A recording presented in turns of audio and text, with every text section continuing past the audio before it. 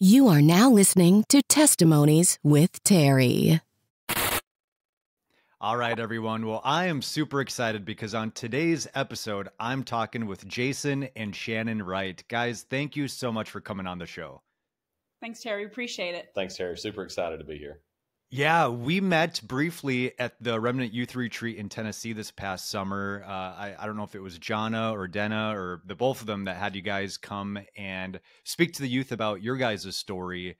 And I was I, I was blown away. I, I, immediately was like, okay, I have to find these guys afterwards and talk to them, invite them to come on my podcast because we got the Cliff Notes version of your testimony, which was uh, super powerful. And I was just like, okay, I, I want I want the full full course meal here, right? Like I'm going to go into this. And so, um, yeah, super excited to hear both of your guys' individual testimonies. And then we'll go into your guys' testimony together as a couple. And guys, everyone listening, be prepared to be blown away at what God has done because this is uh, nothing short of his amazing grace that you guys are still here together. And so, Shannon, let's let's start with you, ladies first, right? So, Shannon, mm-hmm. talk to us a little bit about where did you grow up and what was family life like for you as you were growing up? Yeah, so uh, first of all, appreciate it, Terry, for having us on. We're very honored. It was great meeting you a few months ago. Um, yeah, John and Casey are great folks, so we appreciate it. They've connected Amen. us with a lot of a lot of people um, that are struggling in their marriage as well. So we appreciate it. Yeah. Um, so of course, Shannon Wright, uh, born and raised in Grand Rapids, Michigan in 1980. So I'm an old lady. um, but yeah, so um, my my dad worked for General Motors. Uh, my mom was a lunch lady at the school, um, and um, I grew up in a home that um, we did not know God. God was not part of our life whatsoever. Uh, but we lived with um, financial blessings for sure, and so I had a lot of a lot of money growing up, but not a lot of love. So right off the bat, Jason and I come from two very different backgrounds in that, and of course he'll get into his testimony in a little bit. But um, I was an athlete. I love sports. I lived for sports. That's what kept me grounded because uh, I was a little bit of a rebellious kid. But um, growing up in a house that um, had money but not a lot of love, I just I searched so much for for the love that I was missing because um, we have a hierarchy of needs as a child growing up, and a lot of those needs were not filled in the home that I lived in. So I continued my whole life just searching for happiness. Um, and the abuse that I lived in, it was nothing was ever good enough. Um, I was, like I said, I was an athlete, so I would do really good in a basketball game, say score 20 points, but that wasn't good enough. I should have had 30 points. You know, it was I was trying to reach this um, approval level that I would never uh, reach no matter how hard I tried. And so years and years and years of this growing up, I just I just gave up and said, forget it. I'm just going to live for myself um, to make myself happy. Whoever that hurts in the process, I'm, I'm going to live for me. And um, I always have been drawn to church. It, there was always a drawing. Like I just thought, if I go to church and, and I believe in God and I don't rob banks, I don't steal from people, I don't murder anybody, I'm good, right? I'm good. I don't, I, I'm going to go to heaven because I believe in Jesus. But, you know, people being raised in a, in a Christian home, they're like, well, you know, of course it's easy, you know, believe in God and have a relationship with Jesus and go to church and live a good life. And it's easy. But when you don't know, you don't know. And I just didn't know. And I didn't have anybody to disciple me and, and saying, okay, the the preacher that preached today, this is what the message meant. So I would just go to church listening to the message, and I thought, well, I'm good because I went to church, right? But as I got saved and grew closer to the Lord as an adult, I realized it was a relationship and, and not a religion. Yeah. So fast forward um, to my early teen years, I continued searching for happiness through guys I dated, um, alcohol, smoking, um, I would steal because I was looking for that next quote unquote high.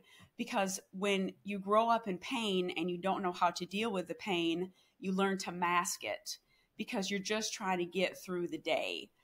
Um, one one example of um, abuse that I experienced um, was I was hungry. We did not eat until my abuser wanted to eat that day. So we would wake up real early in the morning. We'd have a bowl of cereal and then by lunchtime, um, of course, I was I was a growing kid. I was 10, 11, 12 years old, and I was hungry. And so I continued to tell them, um, I'm hungry. Can we eat? Can we eat? But see, they weren't hungry yet, so it wasn't time to eat until they were hungry. So they got tired of me saying that over and over. So they took all of the food out of the cupboards, the freezers, the refrigerator, every every edible thing in the house. They put on the table, and I had to eat it. And they said, "Eat all of this, and if you throw that up, you're going to eat that too." And so, unfortunately, I had to eat that too. And it just continued this through my whole childhood. Uh, when I was 18 years old, they um, tackled me, got me on the ground, choked me, slammed my head against the floor over and over, said, I'm going to fucking kill you. I'm going to fucking kill you over and over and over. And again, that just hardens someone's heart because if it's their, it's, it's, it's all they know. It's all I lived in every day. And so when you get that every day, then your heart starts to harden. And again, you put walls up and you say, I'm going to protect myself so nobody else can hurt me. And so again, that was out, that was throughout my whole childhood. I never got any help for it. Um, and then I brought that into our marriage. So fast forward to, um, and these are just little snippets. Again, I have, um, for anybody that would want to read my entire story, I wrote a book, My Story, God's Glory, A Story of Redemption. Um, it's on Amazon, and that that gets into more detail um, of everything that that really happened. Um, so I met Jason in April of 2001. Um, my sister, she was living in Nashville, and I went on my uh, spring break to visit her for the week. And I was dating a guy at the time uh, for five years when I met Jason. And he was a great guy and treated me really well, but I just knew that he just wasn't the one for me. I, you know, I don't know. Like we'd go look at rings, and I'm like, ah, I don't, I, I don't know. I'm kind of uneasy on this, you know. But I thought, well, maybe just I'm young, and you know, I'll, I'll get used to it. But I just never really got used to it.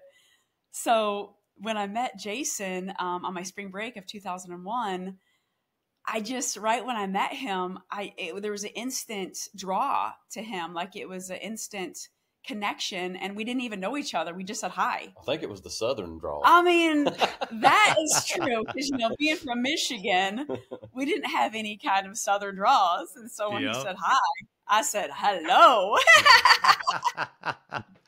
yeah, I think Shannon, we we kind of bonded there uh, a little bit in, in Michigan. We're both, you know, Midwest people, and you know, I, I think yes. I made the joke that it's not bag, it's bag, right? You know, right. you gotta gotta really draw out those A's. That's right, bagel. It's bagel. Yes. My yep. teases me about bagel. but um, so I, when I met him, you know, it was just an instant connection, and so of course, but we're 600 miles away, you know, and I'm like, well, this is never going to end up being anything. So he was a physical education teacher, and I was going to school at Grand Valley State University in Allendale, Michigan, to be a physical education teacher. So we already had so much in common. And so uh, I would go to his gym that week that I was there um, visiting my sister, and I would just talk with him. And like, oh, I got to ask him some physical education questions, you know, just right, just an excuse, right. to, you know, yeah, for sure. It's all business, right? Business. Yeah. and so I just had to have an excuse to go visit him in his gym. And he was just so different than anybody else I'd ever met. He was mature. He had his own house. He had his own car if that's what you want to call it. it got him from point A to point B. My car was three hundred dollars, and it didn't even have yeah. door handles. So I'm just yeah. saying. Oh wow! yeah. Did you get in through yeah. the window?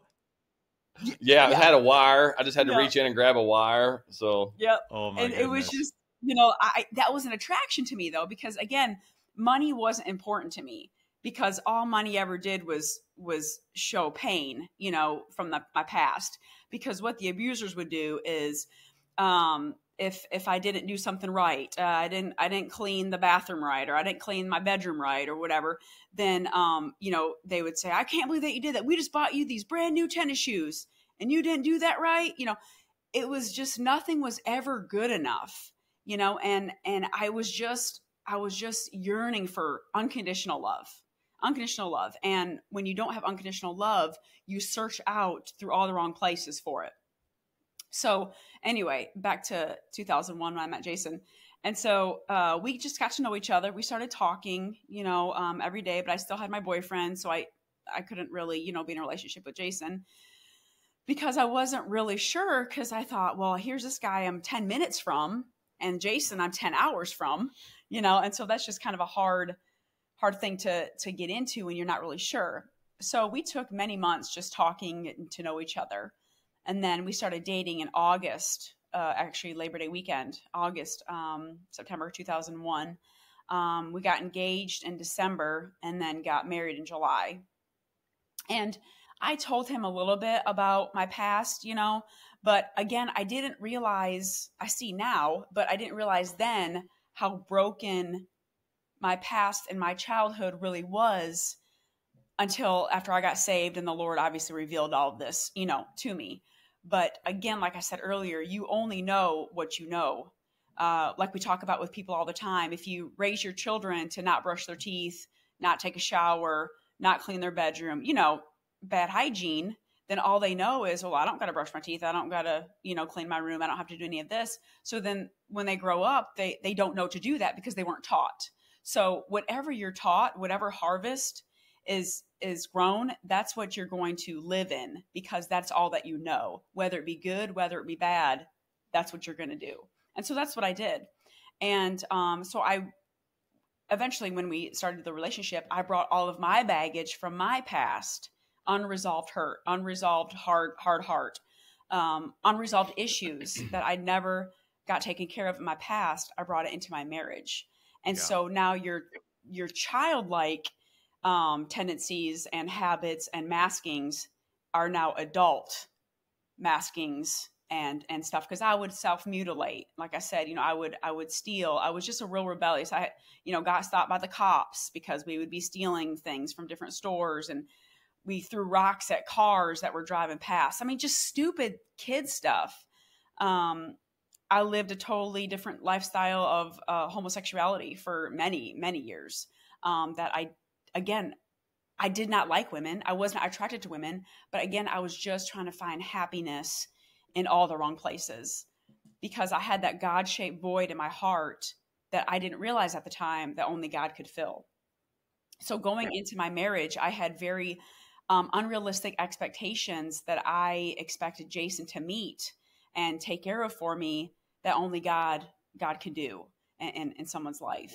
Right. You know? And so so so let's maybe pause there, um, Shannon, because mm-hmm. there, there's a lot to unpack there. And I, I want to go back to your childhood a little bit.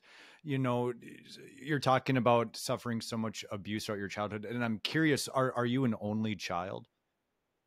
Nope, I have two other sisters. Okay. And did any of your other siblings experience uh, abuse similar to you? Yes, um, a little bit different, but because I, I always struggled in school. I had a learning disability. And so my abusers didn't really know how to handle that. Um, so I would go to different like um, tutors and stuff like that. And so that was a real struggle in my household where my sisters, they were very book smart. Um, they didn't have to, you know, like if they studied for an hour, I had to study for three hours, you know, because my brain just doesn't process things as well as theirs does. And so that was a real struggle in my house. So my abusers would kind of um, abuse me in that way as well, call me stupid. Um, I would never make anything of myself. I'm nothing but a whore. Nobody's ever going to marry me because all I am is trash. They wish I was never born. Um, I'm not worth the skin that I'm in. Um, I mean, just it goes on and on and on. And and so and the power of the tongue is in you know the scripture in the, in the Bible is so true because you can hit me all you want, but those scars of hearing what was told to you by people who are supposed to love and care for you are words that you will never, ever, I don't care how much counseling you have, you will never get those words out of your mind. And you relive those every day. The Lord's helped me, no doubt. I couldn't be sitting here today talking to you if He didn't.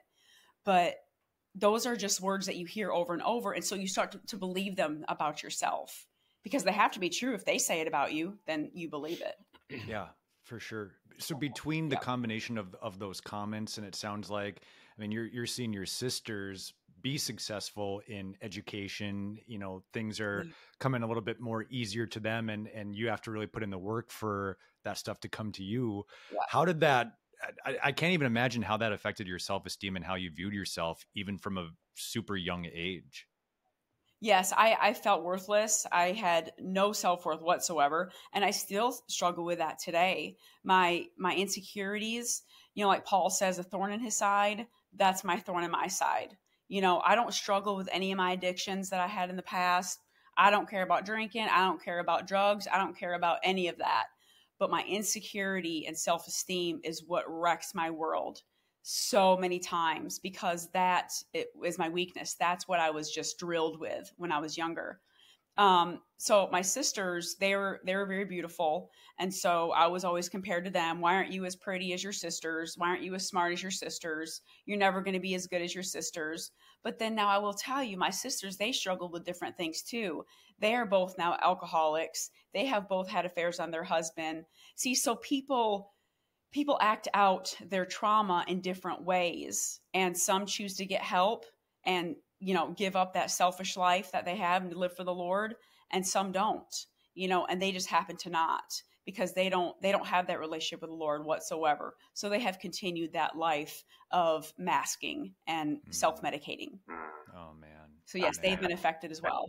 Yeah for sure. How did that affect your guys' relationship growing up together? Like each of you you're saying each of you kind of experienced trauma in, in your own way. Is that something that kind of bonded you together or did it kind of just feel like every kid for themselves?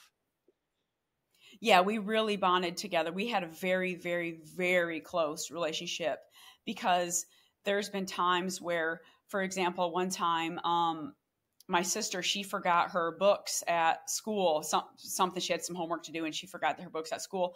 And so um, our abusers would not take her to school which was about i would say probably a 12 minute drive. But how long of a walk? I you know i don't even maybe 15 minutes. Um, how long of a walk? I don't know. And so we had to um, walk to school. It was about eight o'clock at night. And we were just hoping that someone would be there maybe a janitor to have the you know doors open. And so we had to walk all the way to the school in the middle of the night raining get because i wasn't going to let her go by herself. And um, we had to walk back. And i don't even know what time we got back. It was i mean i was probably uh eight. She was probably 12 and we had to we had to do that in the middle of the night. Yeah um because they just wouldn't take us to to get her books because we weren't allowed to make a mistake. You know what i mean like we had again we had to live up to this expectation that nobody can live up to even the most perfect person which none of us are could live up to these expectations that were put on us. And so after a while you just say forget it. You throw your hands up and say forget it. I'm done. I'm not good enough for you. I'm not good enough for anybody. Yep. Yeah. Why do you think that standard was set by your abusers? You know as hindsight being 2020 obviously you've you know, uh, I'm sure I've done a lot of reflecting, a lot of counseling in the years since then. Have you been able to kind of formulate, put together why were you your abusers the way that they were? Why did they treat you the way that they did? Yep. 100% I have that answer and that is because they're broken as well. I found out some things in their past that I did not know until after I got saved and I don't have a relationship with them anymore. So I have really done some research on why, why, why. And uh, I now know. And they come from brokenness as well. And they never surrendered their life to the Lord to help them through what they had been through. And so all these years now, they've just suppressed it and pushed it down and pushed it down and pushed it down to where they just live a life of hard, hard, a hard heart. I'm sorry, and pain. And so, hurt people hurt people. So when you are hurting, you're going to hurt others. And though I forgive them with all of my heart, and I pray for them every day that they find hope in Jesus and they surrender their life to the Lord, I know for my own good and my own family and my own health that I cannot be around them because they are toxic in my life. And the Lord, of course, has helped me through that. Yeah. What's that been like going through the forgiveness process? You know, it's it's different for mm-hmm. everyone. I work as a marriage and family therapist and you know, I unfortunately see a lot of clients with similar stories as as yours, Shannon, where you know a childhood filled of trauma and abuse by people that you know should be protecting you and and, and loving you, not hurting you, right? And so, mm-hmm. How have you been able to walk out that whole forgiveness process? And I'm wondering, like, do you have any advice for anyone who's listening who may have a similar upbringing as you? who are struggling to to forgive their abusers any advice that you would have for them absolutely i remember the day i remember where i was i remember everything about it i was reading scripture um, this is after i got saved because i didn't get saved i know we haven't gotten to that part yet but i got saved um, october 2nd 2014 um, so after i got saved uh, of course i'm just reading all kind of scripture i mean i'm just i'm soaking it up like a sponge because this is all new to me it's a whole new world I never knew. So I was reading one day and the Lord spoke to my heart and he said, They are broken just like you were. You have to forgive them just like I have forgiven you. And I thought, But I can't. And he said, Yes, you can, but you only can with me, with my grace and my mercy. Just like I have forgiven you, just like your husband has forgiven you, you have to forgive them because all they know is brokenness just like you did. And I just happened to go to the Lord and get saved where they haven't. And that was the game changer right there, knowing where I came from and what I had done, and that the Lord gave me grace and mercy and forgiveness. That who am I to not forgive them? Because they're just as broken as I was. And and really that's that's the only way you can forgive someone, right? Like once you realize yep. that Jesus has forgiven you for your sins, and at the end of the day, yep. your sins are no different than the sins of your abuser. That that's, that's right. a humbling thing. You know, that's a humbling mm-hmm. thing, and and just a reminder that yeah, we're, we're all broken, exactly like you said. And so I am I'm super thankful that that you did come to know the Lord and that you you are at this place where you can forgive them. And I'm sure you know sometimes that can be a daily thing is is to forgive that person right mm-hmm. you know it, it, it, can be a yes. process and so uh, I, i'm thankful that you know you are safe now and that you know we'll, we'll get to the marriage but you're with an uh, amazing guy you know in jason who's able to to give you a lot of those things that you didn't get throughout your childhood and yeah. again going back to your childhood it sounds like sports were an outlet for you was was yes. that was that kind of like one area of your life where you felt like okay like i can just go and have fun or did you feel that pressure of you know it, it sounds like there's like a perfectionistic standard set w- w- within your, your home. Did you feel pressure as you were at practice at games to like constantly have to perform? Yes. So number one for sure it was my outlet. Like i said it was the only thing that kept me grounded. It was the only thing that kept me from going to jail. It was the only thing that kept me from get because you know if you get in trouble or you don't get good grades then you don't get to play sports you know so i thought well i can't get in trouble i can't you know because most of my rebellious things i did was more like in i mean this is pretty bad but elementary middle school whereas when i got into high school i kind of started thinking about my future more um, going to college and playing um, college softball. So I knew that I couldn't get in trouble because I knew that record would follow me. And so I kind of started um, just focusing completely on sports and not waiting, not being able to wait for the day for me to move out of my house. so I knew that if I got in trouble, that would all be down down the drain. So I really started focusing a lot on sports it was my outlet, but also game day was very, very, very anxious for me because I knew that they would be there. And so whenever they would walk in, I would already dread it because I already knew the stakes were set so high that I would never reach them. So why even bother? And because I knew if I didn't live up to their expectations that night in that game, I was going, I was going to hear about it all night long and get called every name in the book and just and I just say, just why bother coming? Just don't come. Just don't come to this game. I, would rather you not be there because then I can enjoy it more and I don't have the stress of it, you know? Um, but yeah, so yes, definitely an outlet, but also very anxious filled time for sure. For sure. And and so between anxiety, between a perfectionistic standard being set, my mind goes to, especially you being a, a young teenage woman at the time, my mind kind of goes to like body image, right? You know, like that's that's a time in life where obviously puberty bug is hitting and for me personally you know as as a guy as a dude like i struggled with anorexia during my teenage years because of mm-hmm. Insecurities of how I looked and just anxiety issues, control issues, things like that. And so I, I, I guess I'm just curious for you, Shannon, like did just growing up the way that you did, and I mean, you mentioned the incident where you had to eat everything on the table. Like, did you struggle with any type of eating disorder throughout your teenage years? I actually, surprisingly enough, did not. Um, when I say sports was my life, I literally slept, drank, ate, breathed sports. So I knew that I couldn't do that and be anorexic or bulimic and have the energy to play the sports. So that really wasn't too hard. That came into play later on in my marriage. Um, the the um, I I wasn't bulimic. I was exercise bulimic. And for those of you that don't know what exercise bulimic is, is I would eat something and then I would go exercise it off because I was an athlete. So I love to work out. I always worked out. So I would eat something and then I would I would exercise it off, um, or I would just not eat at all for the anorexia.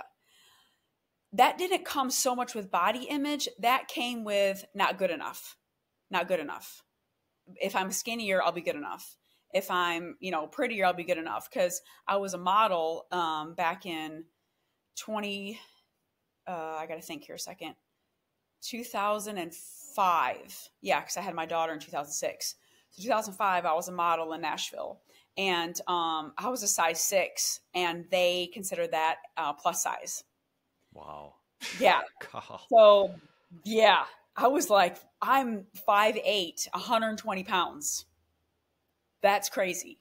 Yeah. And so I would. That's when I really started doing that. But then I saw that's this is not this is not right you know, this was not right, that I was anorexic, bulimic, trying to maintain that weight. So I only did that for a little while and then I stopped because I knew it just wasn't good for my health. But I, I, I was very, um, I did, I did struggle with that because of, again, just being good enough. When people live a life of um, not having that unconditional love, not having that acceptance, you do anything and everything to be accepted, to be loved, to, to have that attention, whether it be positive or negative, you want that attention. Um, and that's that's when I struggle with, with bulimia and anorexia. It's just trying to get that good enough. Sure, physique. sure. Yeah, no, I mean that makes total sense. And you know, you mentioned during your teenage years you started acting out rebellious behaviors, and it, in my mind, just kind of you know thinking back to my high school years, it it almost kind of seemed like the people that were the quote unquote troublemakers, the ones that were doing drugs and stuff like that. They were often the most inviting and and kind of like almost kind of like nice people because yeah. they were the ones that were used to being rejected and and kind of the yep. outcasts and stuff like that. And so for you getting into that crowd, getting into trouble, was that kind of the attraction there was that hey like they're accepting me for who I am and I'm able to just kind of Definitely. be whoever Definitely, yes. And you know, it's that old saying misery loves company. I was miserable, they were miserable. Let's be miserable together, you know? And when you don't really have any reason to live, and that's why sports became so important to me. Um, when you don't have a reason to live and you don't care, you don't care what you do. You don't you don't care what happens. I didn't care if I would have been killed in, in a in a ditch somewhere. I didn't care because you start living a life of no meaning. What's the meaning of life? If all I do is upset people and let people down and get called all these names, who wants to live that way? And so I um, I overdosed on ibuprofen back in um, oh gosh, I was 18 or 19. I can't remember. It's real real fuzzy right there because it was a really bad time in my life.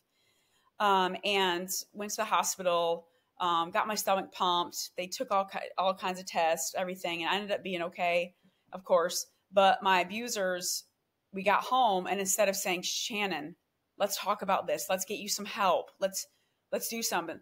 All you want is attention. I can't believe that. That's just a ploy to get attention. I can't believe that you did that. You're so stupid. And I was just screaming for help. I just wanted help. I think it was 17. That's what I was 17. That's what I was. And it did, it didn't, you know what I mean? And I didn't have anywhere I could go to somebody I could trust because when I went to our school counselor, they called them. And they're like, "Oh, Shannon's in. Oh, so now you're going to counseling?" No, they actually said, um, um, oh, what's that word for a, a like a not psychiatric? Oh my goodness. Anyway, it was it was not a very good term of, for a counselor, and so it was like going to a counselor was a negative thing. And so I'm like, okay, now I can't even go to a counselor. A shrink.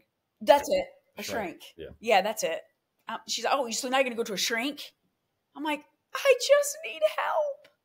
You know. Did so? Yeah, and that was the question that I had for you, Shannon. As throughout this whole time, did you have anybody in your life that you felt was for you that that showed you that love that you were looking for, that care that you were looking for, whether that was extended family, teachers, coaches? Did did you ever receive parts of what you were looking for, parts of those needs that we all have at all throughout your childhood? Yes. Uh, I had very, very, very amazing grandparents. Very amazing. They, poof, yeah, they were amazing. It was just a little hard because if I told them something, guess who they would tell? The abusers. Yes. So, though they loved me and they showed me acceptance no matter what, I had to be careful still. So, to answer your question, yes, but no. So, they were very, I mean, they let me, when I got kicked out, because I got kicked out for not cleaning my bathroom the right way. So, I had to go live with them. And they they welcomed me open arms, open arms. Come on, you know, they took care of me, paid for my groceries, helped with so much stuff. But confiding in them, I could about what I was going through, I could not do because I knew that they would tell them. So, yes, love, no doubt, love that I never knew before. Um, but to have someone to actually talk to about that stuff, I did not. Not one single person. Man, man, and how how lonely that must have been, right? To just feel like you're, Yeah. you're kind of alone and trapped in your own world, so to speak. Yes. You mentioned, you know, in your quest to just kind of find love anywhere, that there was a, a period there of homosexuality, and not that you were Mhm. attracted to women, but Right. just I, I don't know. I, I guess you know now in 2023, there's there, there's so much of that, right? And and we're seeing so many youth, so many people, you know, that were probably at the age that you were, you know, believing that you know they're homosexual or that you know they're the opposite gender. There's all sorts of confusion there, and so I'm curious to know a little bit more about that, Shannon, as far as kind of what led you in into that lifestyle for a little bit, and and how did you get out of it? Absolutely. So I was already a tomboy growing up. There was no doubt about that. And just because you're a tomboy doesn't mean you're going to live a homosexual lifestyle. I'm not saying that. But Amen. I was, you know, I was definitely a tomboy, very involved in sports, of course. So I just kept on looking for other outlets for me to go through to to be accepted. And so um, it started out when I was in um, second grade um, with just you know playing doctor, you know, with my girlfriends, uh, just innocent, didn't mean anything. But for some reason, I felt a connection and quote unquote love and acceptance because this is all about love and acceptance, no matter no matter what. Okay, so I found love and acceptance to that. So then that was in second grade. It continued on a third grade, fourth grade, fifth grade, sixth grade, all the way until I met Jason.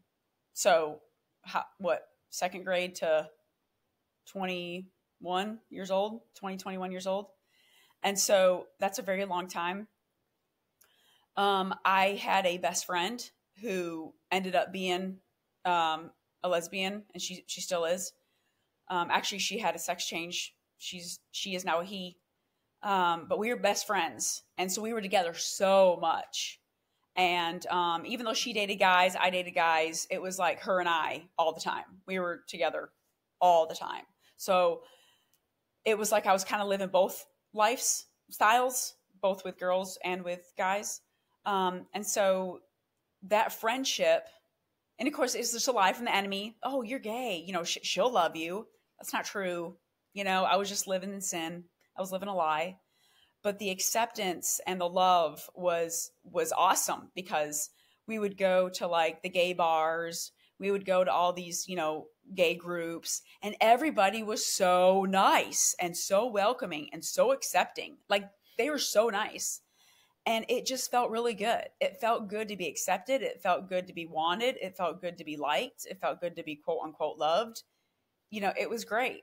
So it was more of the friendship and the acceptance more than anything. Yeah. It's as you were talking there, it just shows that the enemy will, he, he's so crafty in presenting the right thing in the wrong version of it. Right? Yes. You know, here you were wanting love, wanting acceptance. And so he, he gave you outlets for it, but, but not the right versions of it. Right. Like right. the, the, the, the perverted versions of it. What's a perversion? Mm-hmm. It's the wrong version of, of something. And right. so here you are doing, you know, all this stuff. And and was it meeting Jason that kind of got you out of that lifestyle or or how did you kind of fully walk out of that? Yes.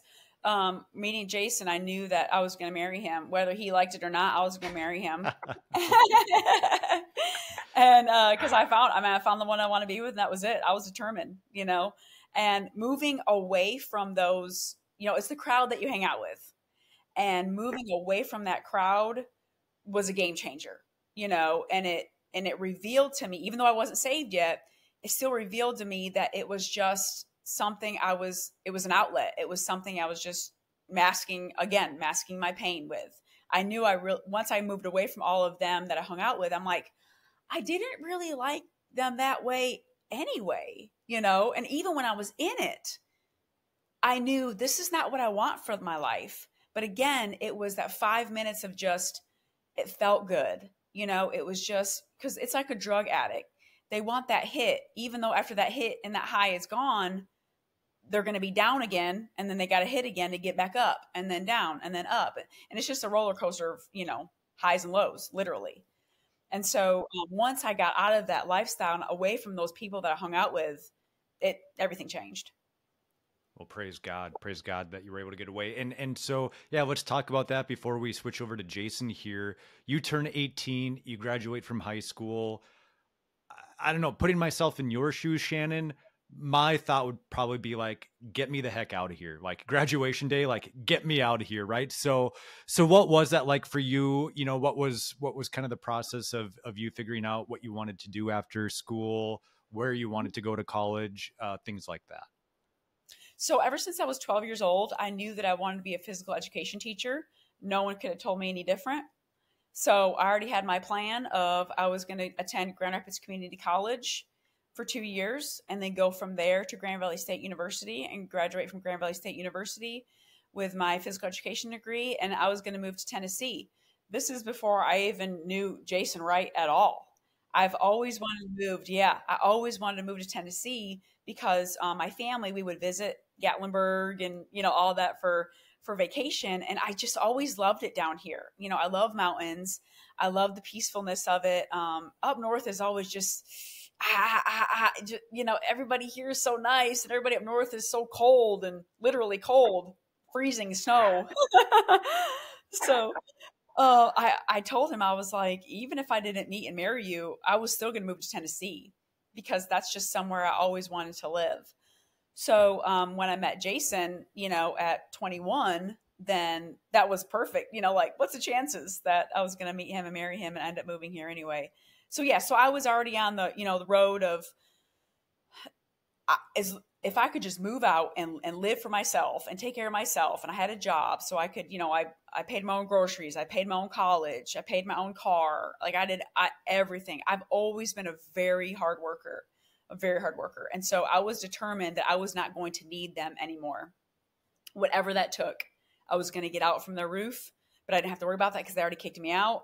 So I was living with my grandparents and um, so I went to college and, and did all that. And then, of course, when I met Jason, I finished up at Middle Tennessee State University with my degree. So, yeah, I, w- I was headstrong on getting out of there. Yep. Awesome. Awesome. Well, I'm glad that you were able to get out. And man, what you know, we could, you know, push the stop recording button right now and have an, an, amazing episode just based off your individual testimony there, Shannon. Thank you so much for sharing that. But there's so much more to your story. And so now let's let's switch over to to you, Jason. you know so we got shannon's background heading into the relationship let's get into your background man let's start with where did you grow up and what was family life like for you First, I got to say that we now know the real reason that, that Shannon married me, and that was to get out of Michigan and just get to Tennessee. It worked, right? God answers prayers, right? yes, right. yes. Um, okay, so my story is is definitely different than than, than Shannon's. Um, I grew up here, southeast Tennessee, in a little town called Birchwood, Tennessee. Um, very small town. My dad uh, is uh, was a pastor then, and still currently pastors a church now, uh, the Decatur Church of God. Um, I had an amazing childhood. My, my parents are so loving. I mean, um, always kiss me, love me, supportive, uh, affectionate. Um, my mom always, I love it because she's, my mom's not a super affectionate person, but she shows love with food. So she cooks. Everybody that comes to her house needs to eat, and you're going to eat 17 plates of food. and then when you're done, you're going to eat again. Um, but that's the way she showed us love. And my dad, my dad is, has always been a really strict disciplinarian. Um, he was he was tough on us. Don't get me wrong, he was tough, and and and we got lots of spankings, and and I'm a better man for it. Every one I got, I deserved. Um, but what happened with me uh, and how we ended up, and uh, this this thing will be a, a beautiful story in the end. But looking at the issues that Shannon had, and then looking back at some of the things that happened in my childhood um, and then how we came together, and then it just created. It was like mm-hmm. my dad says it's like two streams coming together. They're peaceful streams, but when they meet, they become there's rapids. There's things that happen because there's turbulence, and you have to eventually get through that turbulence and let it just kind of smooth on out. And it's a beautiful picture of of, of marriage, really. Um, but to back to what I was saying, when I was growing up, um, I was born in 1976, so I am an old guy. Um, but in, my dad lost his job. My dad had a great paying job at DuPont uh, in Chattanooga, uh, the chemical company. And in 1985, he lost his job. It got laid off through the recession. And it was a very tough time. You know, for me, it was. I can't speak for my brothers. Uh, I, think, I think they had struggles too. But um, I was nine years old. And I was getting right into those early formative years of where, back when I was younger, clothes and all of that. And you had to have name brand or you were made fun of and it wasn't cool. And there was not a lot of, um, there's not a lot of information uh, taught to children back then of how not to be bullies and not to pick on people. It was just, it was just part of our daily life. Um, but so what happened was I went to the local school um, and I was wanting to play basketball my sixth grade year. And during my sixth grade year, I couldn't play because my parents didn't have money to buy my tennis shoes. And luckily, the coach found someone who would sponsor me and bought my shoes. And so, therefore, I started off a career in basketball.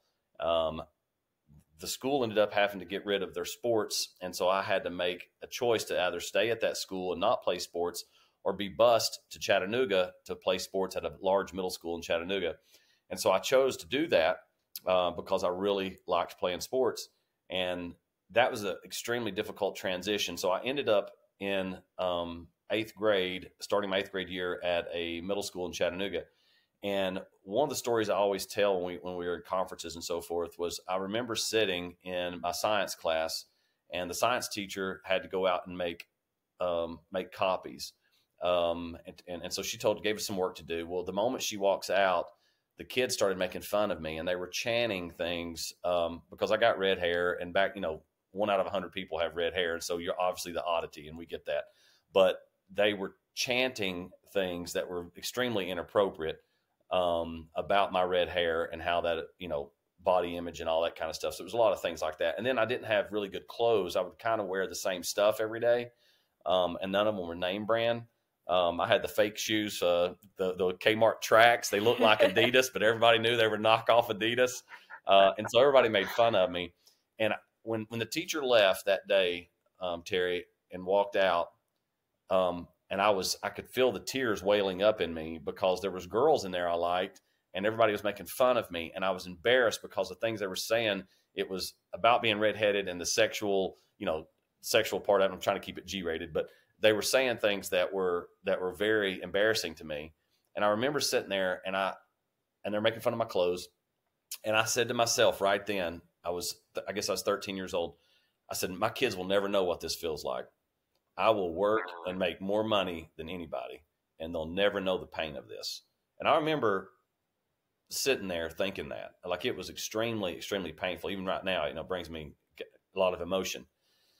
So I came out of that um, with this drive to make where can I make the most money? Is it stocks? Is it real estate? Is it what? And I was going to be driven to do that.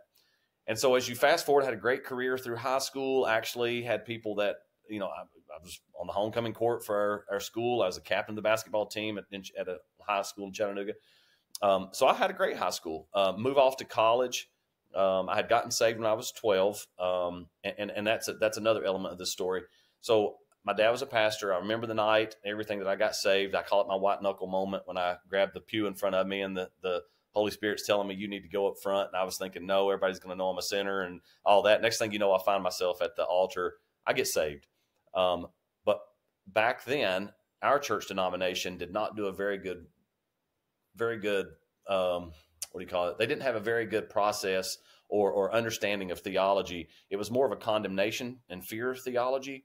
Um, and it was everything was a sin in our denomination. Everything. I mean, wearing pants, going to the movies, skating rink, it didn't matter. Everything was a sin. And so I felt that pressure. So when you get up, changed from the altar, and you go back, then this heaviness comes over you because everything's a sin. And when you feel like you're sinning, you're thinking you're doing wrong. And so I got to the, I felt so much pressure. I thought it seemed like it was more works based than relational. And I didn't understand it being a 13 year old, 12, 13 year old kid.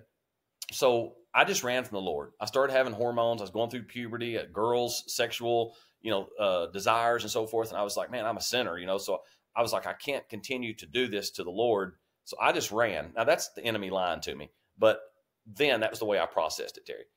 Um, so I ran from the Lord, got wild through high school, through college, drinking, girls, you know, smoking weed, whatever. I got really crazy. Um, but once I graduated, um, graduated from college from MTSU, I was a PE teacher as well. Um, so I had my certification to be a, a teacher. Um, and then I got a job in uh, a little town called Lebanon, Tennessee. Um, and I was a teacher, basketball coach there.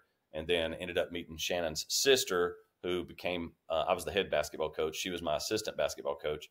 And from there is kind of where we uh, ended up meeting, as she mentioned earlier, um, in, in April of 2001. Okay. So that's kind of where we're at. Yeah. Okay. Awesome. So, so let, let's kind of unpack some of that stuff there. So, your your dad was a pastor. You gave your life to the Lord at 12 years old. What was that like growing up in the church? You know, and again, I understand you didn't, you know, fully commit your life to the Lord and, until you were 12. But growing up, um, especially now being an adult, being a dad of your own, what's that like to kind of reflect on just that element of always having the Lord in your life throughout your childhood? So, watching my parents, who have they're amazing. Everything that happened in our life, whether it was positive, whether it was negative, that was always approached from a spiritual standpoint of prayer. Um, my parents definitely aren't weird. They're not over spiritualizing things. Um, they're normal people, but I would see my dad and my mom pray to, pray together every night, read the Bible together. I knew when I'd go in to give them a kiss at night in their bed that they would be, both be reading the Bible, and that foundational, um, just just being being wrapped around our entire life with this foundational spiritual, you know, Christianity uh, approach. Uh, was super. It, it, definitely the benefits outweighed the negatives, right? And and and and maybe we could say, well, what's the negatives? And so that brings up this point my dad, we my dad started a church. He planted a church uh, when I was eight years old, and when he started this church, um, the very first day there were seven people there. Five of them was our family, okay, and then my grandparents, and there was just nobody there. And I knew that's what the Lord had called him to do because of some of the things the Holy Spirit had hit. My dad had kind of fleeced the Lord, and there was things that happened. So he knew he was supposed to start this church. But what happened with me was, and this is, and I've talked to my dad since then about this, and I don't, again, I don't blame him. He did what he do, what he thought was best at the time. But I never had a youth group growing up. I've never had a youth pastor. I never gone. I've never been to youth camp. I never did anything like that. I went to big kid church since day one, you know, and so I was getting the sermon preached to me in an adult manner, and it just didn't seem, for the most part, to be um, something that would would give me this substantive change or grow me from from a discipleship uh, way, and I became resistant um, to the point to where I, when I got to be 16 and could drive, I just didn't want to go to church anymore. I'd always try to find, oh, I've got basketball practice. Oh, I've got work today. And I just pushed back because I never had a group of like minded people my age um, and youth pastors that were making it enjoyable. And so when I'd mention that to my dad and I'd want to go to another church, he would say, well, I, I can't have my son going to another church. They're going to say, why is the pastor's son not going here? And so that that was a big struggle for me um, because I think it was just the skill set just wasn't there. You know, there just wasn't a skill set that he had to be able to implement. Um, and and probably it was money. It was a small church. You know, he couldn't go pay a full time youth pastor to come in and all that. So, long story short, I missed out a lot um, in my formative years of having a youth group. Um, and so, as we fast forward to now, and I know we'll get to all this later, but it, we both, as parents of our daughters, from the moment we moved back here to Southeast Tennessee, we said we will be involved in a church that has yeah. an extremely strong youth group, and our children have thrived. And so, we're trying. I'm trying to take maybe what what my parents didn't didn't you know do very well some of their weaknesses and hopefully better those now. Again i don't blame them. Uh, i don't hold that over their head. They did the best they could. Uh, i'm sure we're not doing the greatest job and my kids will probably say man we'll do something different than my parents did. But but i will say it was a it was a very having christianity in my life from being youth it gave me it, i felt safe um, I felt protected. I learned to put my trust in God. I watched my parents that anytime they had a disagreement, they worked through it. Um, there was just this fruit of the spirit that was produced from both of my parents and how they handled relational issues and so forth. Um, and having that and seeing that modeled in front of me every day is unbelievably mm-hmm. part of why we're still sitting here today. Right. Yeah, man, what what a foundation. I mean, as as you were talking earlier about going into their bedroom and seeing them reading the Bible and, and praying together. I, I just think how powerful uh, for for any child to see their parents doing that, yeah. right? Like what a example that they set for you in in that regard. And you know, it's interesting, Jason. You mentioned giving your life at twelve, and then at thirteen, you had that traumatic incident at school where you know everyone was making fun of you. You kind of vowed to I'm just going to work, work, work to to have the money to you know so that my kids never have to go through this and it sounds like it, was around that time too you mentioned just kind of running from the lord and what, what i found interesting is that it almost kind of seems like the enemy played into that in in the sense that you said that your high school years were good. You you had uh, it sounds like some level of popularity. You were on homecoming court. You were captain of the basketball team you know the girls the parties like it, it's almost like again kind of like what we talked about with shannon that the uh, the enemy presented to you the right thing as far as being accepted and friendship and stuff like that but the wrong version of it. Is is that something that you recognize? Yeah i think i think that was the thing. So when when when i started playing basketball um, and then i was i was uh, on the varsity team as a freshman in high school and so that don't happen a lot. I think there was two guys that that made it who who we both later became co-captains uh, our senior year. But I was I, I, poured my time into basketball, and that being successful at that gave me some notoriety. And so when the, all the you know thousand kids come to the basketball game, they would they would see that I was the I was the point guard, I was the captain of the team, and they would and and so it gave me a lot of notoriety. So when we're going to parties, and it was just all this attention that I was getting, um, and I'd already kind of pushed the Lord over and set him to the side because this felt good. You know, this was this was feeling good to my ego and to my uh, the things that I, I felt like I needed. Um, and so, yeah, you're right. Absolutely, it, it, was presented wrong, and of course, I didn't handle it right. You know, um, being wild and crazy in high school and, and college just probably wasn't smart. You know. Yeah, well, I mean, it, it, it makes sense though. I mean, I, again, the things that were a source of trauma and now you're getting them and getting them in spades from what it sounds like. It makes sense how that was very appealing to you uh, at, at, that time. And so yeah you mentioned going on to to college and becoming a uh, physical education teacher. And you know I, I guess this is where we can kind of pick up the story where you guys meet. And and so jason let's let's start from you. Like when when you first met shannon what went through your mind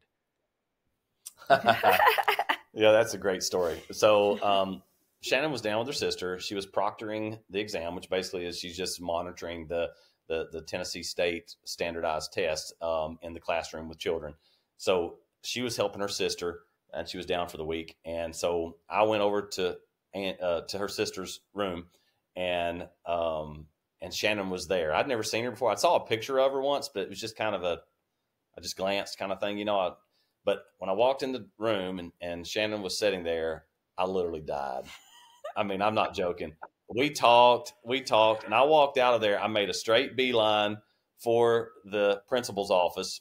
I walked in, I told my principal, they were eating lunch, principal and vice principal. I walked in and I said, Have you seen so our sister's um her, her sister's um sister? Yeah. Okay. Yeah. Try not to use names. Right, right, right. Um and she said, and they said, no, we haven't. And I said, one word, supermodel. And I was dead serious, man. I was just, I was just smitten, and I'd never been, been, you know, you know, felt that way about somebody before. But I just didn't think I had a chance, and I just, I just thought she's beautiful, but I just don't have a chance. And then later that afternoon, um, after she got done proctoring the test, she she came over to my gym, and I honestly, I can tell you right now, with full honesty, I was so naive she came into my gym and we sat on the sit on the bleachers while the kids were while the classes were playing, and we were talking. She's asking questions about uh, physical education because she wasn't a teacher yet; she was still in college, but she was asking about. And I seriously, I'm so naive. I seriously thought she was really just curious about PE because I never believed that she would like me. Uh, but later, I look back and thought, man, I'm such a dummy. Like, I, you know, she was she was flirting with me, and I didn't even know it. Uh, but but we wouldn't be here right now if it wasn't for her because she she's actually pursued me because um, I didn't think I had a chance. I knew what I wanted and I was going to get it. Yeah, Shannon, you mentioned earlier that you know when you saw Jason, you just knew um, that was the man that you were going to marry, and and you mentioned mm-hmm. that, that there was a lot about Jason that was you know attractive to you. You mentioned the car and how obviously money was not you know a, a, right. a factor at, at, that point. What what else was it about Jason that just kind of just clued you into like I, I can't imagine life without him. The way that he carried himself um, again i can only go by what i was used to you know the guy and i, I never dated bad guys don't get me wrong they, they, they have every guy i've dated has treated me great um, but just the way that he carried himself he was very mature he he was very respectful again his southern draw woo wee you know that was really nice um, and he, like I said, he had his own house. He was remodeling his house. Um, growing up, uh, my parents they would buy houses and fix them up and sell them, or you, do them as rentals, and I would help them on the houses, and it was actually really fun. I really enjoyed it. Um, and so when when I saw that he was doing that to a house, that was an attraction. You know, um, he was good with his hands because he could build things. You know, he would he remodeled his whole house by himself, and I thought that was really that was really cool you know. Um, and of course, he's a physical education teacher. He loves sports. I was I was going to school to be a physical education teacher. I love sports, and so we just had a lot in common. And I just feel like we hit it off instantly and just became best friends since day one. That's awesome. I, I, am curious for you, Jason. I mean, obviously, you guys had two very different upbringings, right? You know that much is for sure. As as you got to know Shannon, and and I'm guessing during that period, Shannon, you would start to share aspects of your upbringing and and and the trauma, the abuse that you endured. For you, Jason, what was that like to to hear that and and not only to hear that, but then to kind of recognize that wow, like I'm being entrusted by God, you know, with with this woman's heart, you know, that that has been through a lot and now like I'm I'm kind of being trusted to hold it. What was that like for you? Yeah, that last piece, I probably because I because I wasn't living close to the Lord then, I didn't really think about it from a spiritual standpoint. Uh, we approached this in all the wrong ways, probably. You know, we we went. No, there's no problem about it. We, we approached it wrong. Yeah, I'm being conservative and yeah. nice, right? But we went into this. You know, we were going to live on love. Mm-hmm. There was this attraction, um, and I did not do a whole lot of spiritual inventory and all that kind of stuff going into this. But I was told by her sister and and her that the abuser um, had some major issues, like that major. And I was like, no, because when I met that person, I was like, no, they're wonderful. And I just didn't realize it because I had never dealt with that. I'd never seen that. I didn't know to the level of depravity or whatever you want to call it. I don't know. I didn't. I had never seen anything like that, so I didn't really have a benchmark. I just thought, no way, because that just wasn't my normal. The lens I looked through didn't. We didn't deal. We didn't deal with that stuff. Um, and so I didn't understand the level of how traumatic and how terrible the situation. Now, I'll be the first to say, I saw it with my own eyes. You know, like I saw some crazy stuff um, through through when we were, you know, going through our, our, our, courting stage and then ultimately in the, the first few years of our marriage. I, I, there was things I saw about the abuser that would happen. I'm trying to be careful how I say mm-hmm. this um, but there was things that I saw that was just blew my mind, and it would just like be like, wow, you know, I can't believe that this is being handled this way. Um, and so that was before we had children. Um, but then watching Shannon, and it hindsight's twenty twenty, and boy, that sounds so cliche, yeah. but it's so true. You know, the older we get, the more hopefully the we, we we aspire to be wiser than we are at this point. And as I as we started getting a little more years and experience under us, and then we look back, we could start putting the pieces of the puzzle together of how there was brokenness there and how it was affecting negatively um, Shannon's psyche and how she handled things. Um, but yeah, it started off. I mean, I thought we were doing great, but then coming into the marriage, I had this was another piece too. Like, and, and again, not blaming my parents, but we had zero. My parents. Oh, not blaming my parents, but we had um, zero premarital counseling. Yeah. Zero. We didn't have any premarital counseling. No. I was never, we was never even encouraged to have it. Like I was expect, you know, looking back now, I would think my, my dad would have said, Hey, you know, get some premarital, premarital counseling, but we had zero.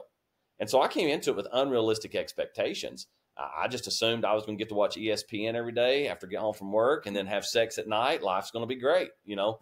Um, and and that's kind of the way that I perceived that. So I had come in putting Shannon up on this pedestal almost in an idealistic way. She's gorgeous. She's going to fulfill all my needs. You know, she's this idol. She's going all my sexual desires. This is going to because she's and when she fell short of that from right out of the gate, day one, mm-hmm. there was unresolved expectations, yep. unfulfilled expectations, um, and it just started this pattern, spiral, a spiral of, of just constant fighting. Yeah.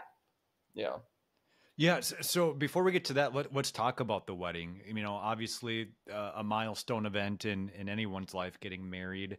Jason, what was that like for you to commit to getting married? And Shannon, what was that like for you getting married? And and I guess a question in addition to that, obviously you're getting to know Jason's family at this point, and very different than how you grew up what was that like you know just kind of witnessing his family being accepted into that family um, and and maybe getting love and and affection uh, from his family in ways that you didn't get uh, throughout your childhood? Yeah. So of course marrying at 22 years old and moving 600 miles away from everything i've ever known was definitely um, freeing because I knew I was no longer under their roof and under their authority. Um, but it was still also scary because I had no friends, I had no connections, I had nothing except for Jason. And he was a basketball coach, so he was married to basketball. And so he spent a lot of time with basketball and not a lot of time with me. And I mean, he would he was coaching, he would go scout, he would be out late at night at his games, and he would watch film and I would just be the little wife sitting there twiddling my thumbs, watching him watch film, you know. And so that was already very difficult. Um, number two, with his family, it was it was awesome because it was a family um, environment structure that I had never known before. But at the same time, I was also very, very, very, very jealous that I didn't have that. And though I knew I would never have that, I was also at the same time taking it in so I would know how to raise our children when we eventually have children. And so it was a good teaching moment for sure. Um, just seeing the peace, seeing the love, seeing the prayers, seeing it. When you live in chaos, that's all that you know the yelling, the screaming, the fighting, the cussing. That's all that you know. That's your normal. But then when you go to someone else's normal and you see how their life is lived, then you're like, wow, how I want that. How do I get that?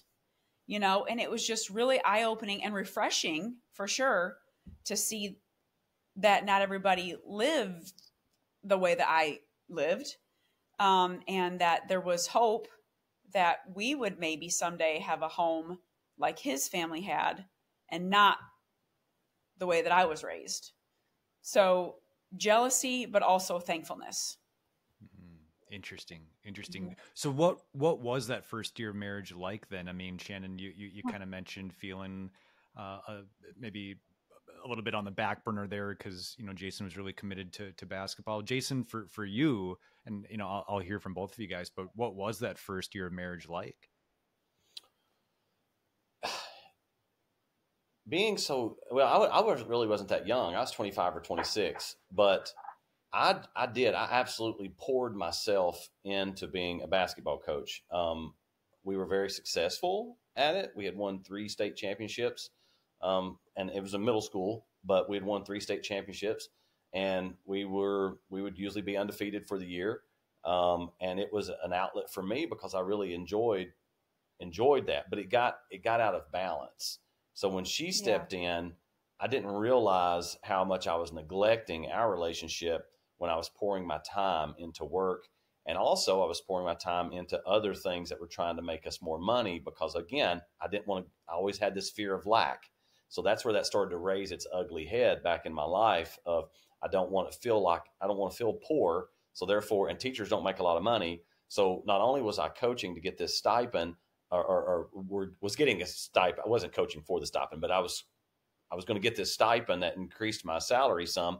Plus, I was still refereeing basketball games. Uh, we were flipping houses. We were doing all kinds of things trying to make additional money, and I just wanted to get ahead in life. And I put so much emphasis on that that piece of it that I just neglected our relationship. Just to be honest with you. So yeah, so it's you know when I think back to the first year, it was again you know, it's new, it's fresh, so that that has to wear out first. You know, that has to kind of settle in. So there was some of that that we were living on, but then, um, but then it became this. Uh, she had unfulfilled needs. She would. She likes to go walking. She likes to um, uh, exercise. She likes to do those kind of things. And I was just tired. I just I, I just want to watch ESPN. I've, I've put my day in. I didn't want to go walking.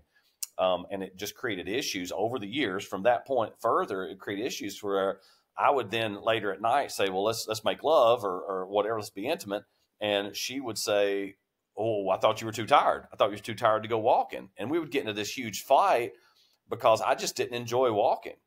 I was like, "Why walk? I can sit right here," you know, and and then I, but but because we're such we're we're built even with a selfish nature. I mean, it's a sin nature, you know. We're built with that, and it and it was just it was hard for me to die to myself, as the scripture calls us to, but again, this is where I had walked away from the Lord. I wasn't in tune with living our marriage out the way that God designed it.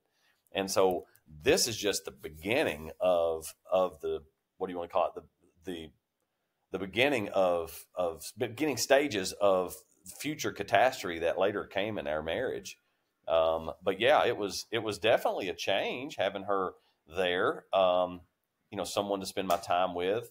I'd been a teacher for I guess three years and really wasn't dating many people at all.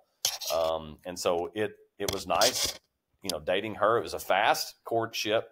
We dated for about three months and then uh, got engaged in December, and then we were married the following July. So basically, a year of courting and then and then marrying. Um, and again, I, I was just like Shannon. I knew that I wanted that I wanted to marry her. I'd been I dated people before and just did not ever have that desire in my heart to think that was going to be my future wife. So it, it was pretty. We both were really quickly understood that we were marrying each other. Yeah. Yeah, for sure. And and so it sounds like very quickly on in the marriage too that there was starting to be some some problems, you know, some conflicts. You know, Jason, you you were really focused on basketball and, you know, just kind of dealing with, you know, just coming home and I'm tired, but yet I still want, you know, affection. And Shannon, it sounds like, you know, you were feeling more so alone and it's just like, well, mm-hmm. you don't want to spend time with me and now you expect me to give you know my body to you like what's up with that and right. so jason you mentioned that was kind of like the beginning of, of the problems and and so i guess what, what's kind of delve further into that as as time went on what what kind of happened next in the marriage so, well i was um, of course i was still in school i was still attending middle tennessee state university at this time um, because we got married in 2002 and i graduated in 2004 so i still had two years of, of school so I would go to school, and then right when I was done with school, he expected me to go to basketball practice. So I have to stay with him basketball practice. If I wanted to go home and do my schoolwork, he would get upset, and he'd be like, "Why want you here at basketball with me?" But but I needed to get my schoolwork done because I wanted to have the evening together. But then he would just watch film all the time and then I would want to go for a walk. And it really wasn't about the walk; it was about this the time spent together. Like yeah. in my head, I had this fairy tale like oh, we're going to go walking at night and we're going to have dinner together and, you know, sing kumbaya, my lord, and, you know, just have this fairy tale marriage. But again, we go into a marriage very selfishly.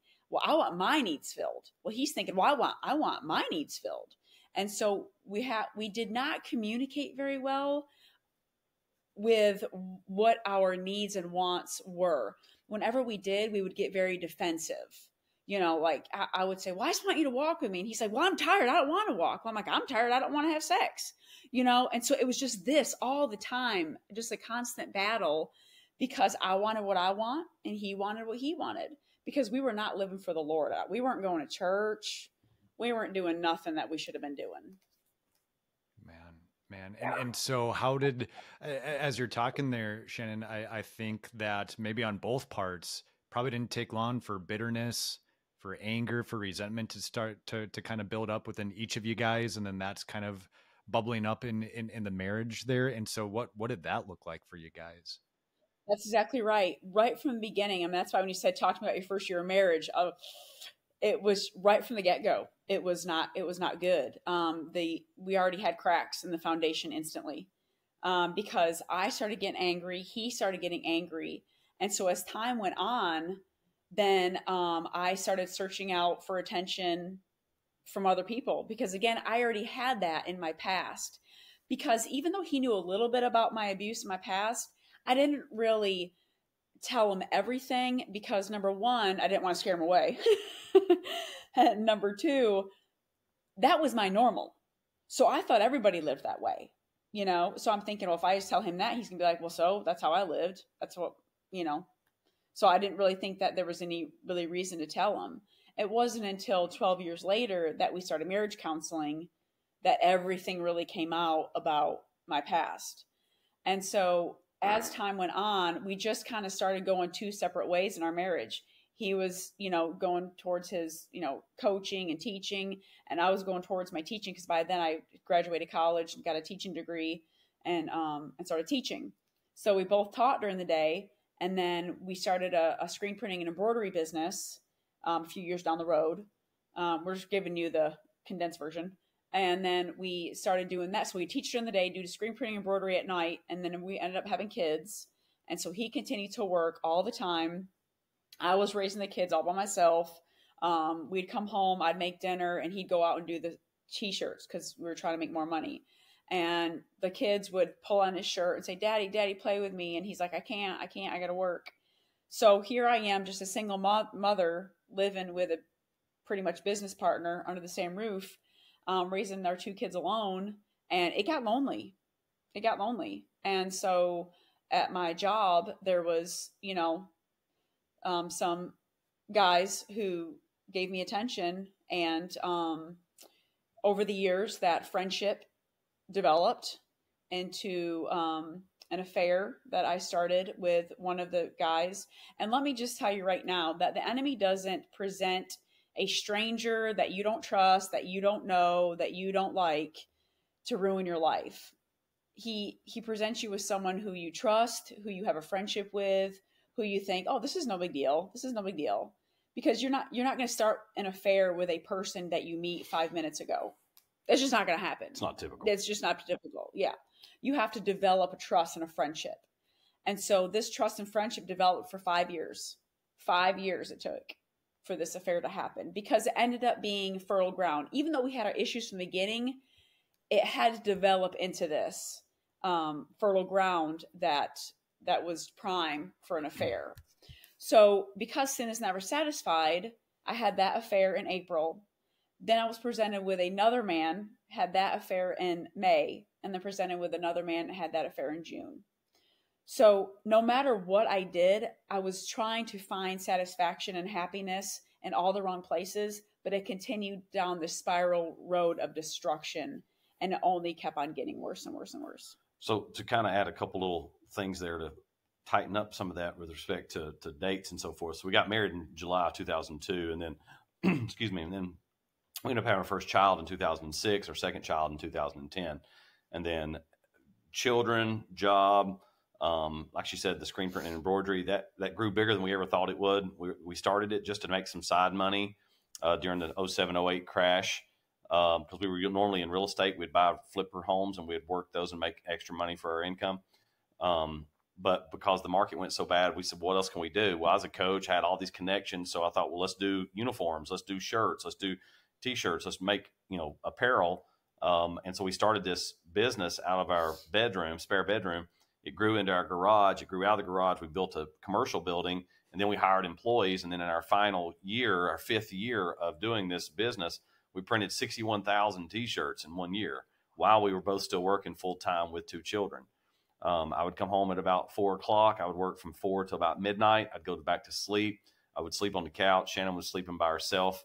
Our children was, were in, in their bedroom asleep. I'd feel guilty. So I'd go in and lay with the kids because I kept telling myself, well, Shannon knows that that, that I love her. So I, I, need to make sure the children are taken care of. And so I would go and I'd, I'd spend time with them, which I thought was time. They're asleep, but it was more of a salve in my heart because I felt guilty of how much I was working. But say, well, okay, well, why were you working that much? Well, it goes back to that childhood of not having enough, having lack financially, not being able to have the cool shoes and the cool clothes and the nice car. There just there was no way for me to do that when I was younger so it, was, it came back out roaring its ugly head as an adult. So when I started making money, I wanted to make more money. It wasn't because I was greedy. I just wanted to make more money to make sure my family was safe and make sure that we could have the things that we wanted to go to Disney World. I didn't want to be a problem. Let's go to Disney World. And so in the middle of that, though, Shannon was thinking, okay, she grew up around money. Money was used as a um, as a um, um, what do you want to call it? More of a medication, like a prescription for solving mm-hmm. some something that had been done to her wrong. So hey, here's more here's more money. Here's something. Here's you a nice baseball or softball glove. Here's you, mm-hmm. and she would get all these cool stuff to mask the pain um, to try to make make make amends. There we go, make amends for what had happened to her. And so when she saw me focusing on money, it made her nauseated. You know, she was just like, "What? Money's not important." I just wanted love and attention. And and I see I had plenty of love and attention growing up from my parents, so I didn't I didn't feel that was not a void in me. And so I was I couldn't understand what was going on because she was showing she was so frustrated. Um, and I was just like, but we've got all these jobs and we've got all these um, you know orders coming in. I've got to fix these orders. So long story short, it it it the job itself, the business itself created a ton of anxiety in me to the point I ended up in the hospital multiple times with stress and anxiety. Um, and so we said, hey, we're going to sell the business. We sold the business in December of uh, 2013. And we had, I had, the night that I had thought I was going to die, the anxiety panic attack, I laid on the couch. I was crying. I had this feeling of impending doom that my life was over. I was going to die that night. And I didn't even know if a week before that, if you'd asked me to define what anxiety or panic attacks was, I couldn't even have described it because I didn't, I've never dealt with it and it just hit me out of left field. And one night I told Shannon, "Don't go to bed. Don't go to stay up with me. I'm going to die." You know, I was just going crazy, and so I got up immediately and said, "We're going to the we're going to uh, to the local church. We hadn't been in church, um, and we had been taking our daughter on Wednesday night to Awanas, uh, which is a Baptist program. Uh, we had been taking her to Awanas, and we said that's the only church we know. So we drove to this church. I immediately went down to the altar, rededicated my life to the Lord. Uh, it was an amazing experience because I felt a lot of that lift off of me. Did I continue to struggle with it? Yeah, absolutely. But I do remember it was a it was a transformative moment for me. And we started taking our family to church. The business was sold. I thought, man, we're going to get our life back together. You know, we're going to get on a straight and narrow. We're going to do right. Um, that was in December of, of no, that was March 2013. March. Yep. March 2013. Yep. Yes, I'm sorry. March 2013 is when that happened. Yep. We sold the business in December 2013. Right. Finally found a buyer, sold the business. Yep. Um, and then that following spring of 2014 is when the enemy a- attacks and presents yep. her with this fertile opportunity um, for these affairs. Um, and of course, you know, even though we're trying to live right, you're taking your family to church, doing all these things. A lot of those pain and a lot of those scars that had been developed through the first 11 or 12 years of our marriage didn't just go away. You know, she saw all of my warts. I wasn't perfect. I didn't have the skill set and understanding to know what I was doing wrong. So therefore, this other person, when I'm sleeping on the couch, this other person at work is telling her, "I can't believe your husband's sleeping on the couch. I would never sleep on the couch. I would sleep in bed with you. You're beautiful. You're gorgeous. He don't know what." And and so it was just this. Jason's terrible. This affair partner's great. Um, and then it just it you know basically went into a full blown affair at that point. Yeah. And and and so I want to clarify something. So in March of 2013, you guys went to the, the church, and Jason, that's when you reded- rededicated your life to the Lord. It, it doesn't sound like for you at that time, Shannon, that you gave your life to the Lord yet. Nope. So it was more so just kind of supporting Jason. Yes, yeah. Because remember, I still I still thought I was saved because I believed in Jesus. She thought she got right. saved at church camp. Yeah, church camp when she was yep. 12. Yeah, when I was 12 at church camp. Because I did go to church camps. I did go to church. I, I've always gone to church when I was a kid. Um, even when I started, like my parents, they would drop me off. They wouldn't go to church, but they would drop me off and then they would come pick me up, you know, and stuff like that. But um, I always wanted to go to church. I was always drawn to it. So that's why I thought I was saved. But see, I was not educated. I, but Terry, I didn't this, understand. This brings up a, a, an interesting thing, and I'll make this part super brief just as a side note when and and of course I've grown up in church. You know, we we're actively involved now. I caution people when you try to give the the gospel uh, to a child and you say, "Do you believe in Jesus?" and they say, "Do you want to go to heaven? Do you believe in Jesus?" Well, every child's going to say yes. Yeah. And they go, "Okay, then then say this prayer and you're saved." Well, I'm not saying that that's necessarily horribly wrong. I'm just saying that that person may grow up thinking that they had this transformative life, transformative yeah. moment in their life when when it might not have happened for them then. And I've seen it over and over, not just her, but I've seen it over and over and over because we're in the ministry where people say the same kind of thing. You know, mm-hmm. I, I, I went down to the altar, I wrote on the card that I was saved, and but it you didn't get up and turn from what you did and and it didn't create this transformative the holy spirit being being you know residing in us. And so i think that's kind of what happened with her. She just thought i got i did what i was supposed to do when i was 12 i got i got saved at church camp. Um, but then but then she really knew she didn't. I know that i got saved at 12 i just ran from i just backslid. So it, it is it is somewhat different. I mean we ultimately ended up at the same place. We were not living where we needed to. We need to come back to the lord and becoming you know get get get into proper fellowship with him. But but I think that's a good good point that that, mm-hmm. that it's really good to watch and help children understand that they arrive at this with their own you know time with them and God, arriving at whether or not they are going to be saved or not. Yep. For sure, for sure. I mean, I think that's a good point uh, for people in general, right? You know, I think sometimes churches with with good intentions you know, they say that, yes, you just need to say this prayer and boom, you're saved. And there's often not a focus on the discipleship after that or and the sanctification after that it's just like yeah i mean it's it's a heart change and then there's got to be behavioral changes because of your heart right. change right and and i right. feel like there's a lot of christians that they don't get to the behavioral change because they just said the prayer and they're just like all right i'm good i got my you know free ticket out of hell card and uh, you know i can just kind of go on living life and so i i appreciate you speaking to that jason because i think anyone listening to this right now i think that's really going to speak to them and and uh, encourage them and maybe even challenge them to, to think about like okay like i gave my life to the lord but am I actually living for the Lord? You know, does Yeah. does the way I live actually back up the, the words that I said? So thank you for speaking to that, Jason. And so so here you guys are then 2014 sounds like this is uh, maybe the year from hell uh, you know, from from what Yes. it's kind of shaping up to be here. Shannon, you, you you had that first affair, and and again we, we we've talked about why that was. You know, this this man at work was giving you the things that you weren't getting from Jason. You know, the the, the attention, the affection, the love, the care, all that stuff. I, I'm curious after that first affair. You know, you wake up the, the next morning or whatever. Like, what was going through your mind? Was there any sense of like, oh my gosh, what did I do? Or was there more so kind of a justification as far as like, what's wrong with this like my needs are getting met uh, you know my husband's not getting that meeting them for me so i'm making sure they're being met elsewhere Exactly. And the answer to that is both. Uh, because see, there there's a wrong um, thinking in affairs. People think, well, if you don't want to be with your husband, just divorce him. It's not that I didn't want to be with my husband. I, I've loved my husband every single day since the day I met him in April of 2001. It's just I had I had needs in my life that were not being met. And if if your spouse does not meet those needs and you're not right with the Lord, you're going to go find someone, something to meet those needs that are not being met. And so it wasn't that I wanted to divorce Jason. I would wake up in the morning and I was like, I love him. Why am I doing this? Why am I doing this? But all I could think of, like I talked about earlier, is a drug addict. I got to get my next high. I got to get that next hit. And for me, the the affairs were not sexual. It was all about the attention because see at home I was getting all the sex I wanted from from Jason. So I didn't go out seeking sex in these affairs. I just wanted their attention. I just wanted their good morning beautiful. I hope you have a great day. That right there was my hit. That right there was my hit. And then at lunchtime, I hope your day's going great. Just want to let you know I'm thinking about you.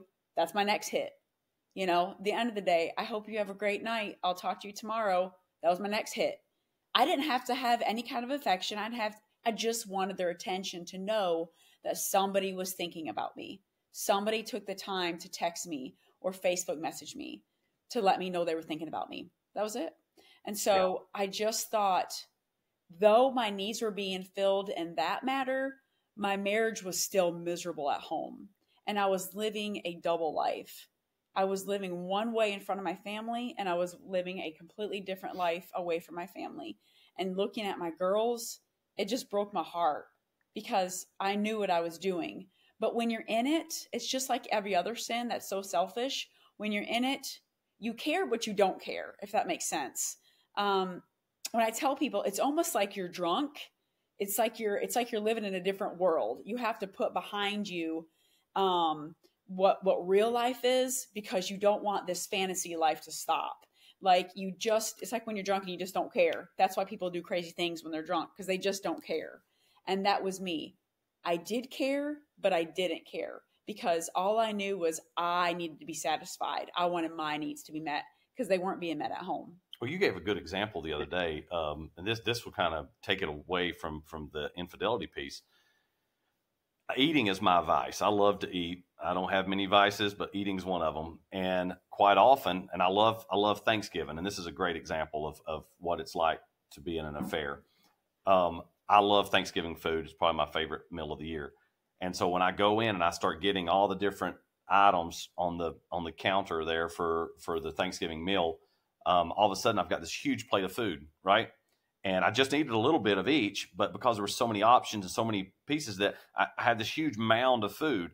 And I sit down and I eat and eat and eat and eat, and it's so good, Terry. It's so good. And I Mhm. eat and I eat and I eat until I can't eat anymore.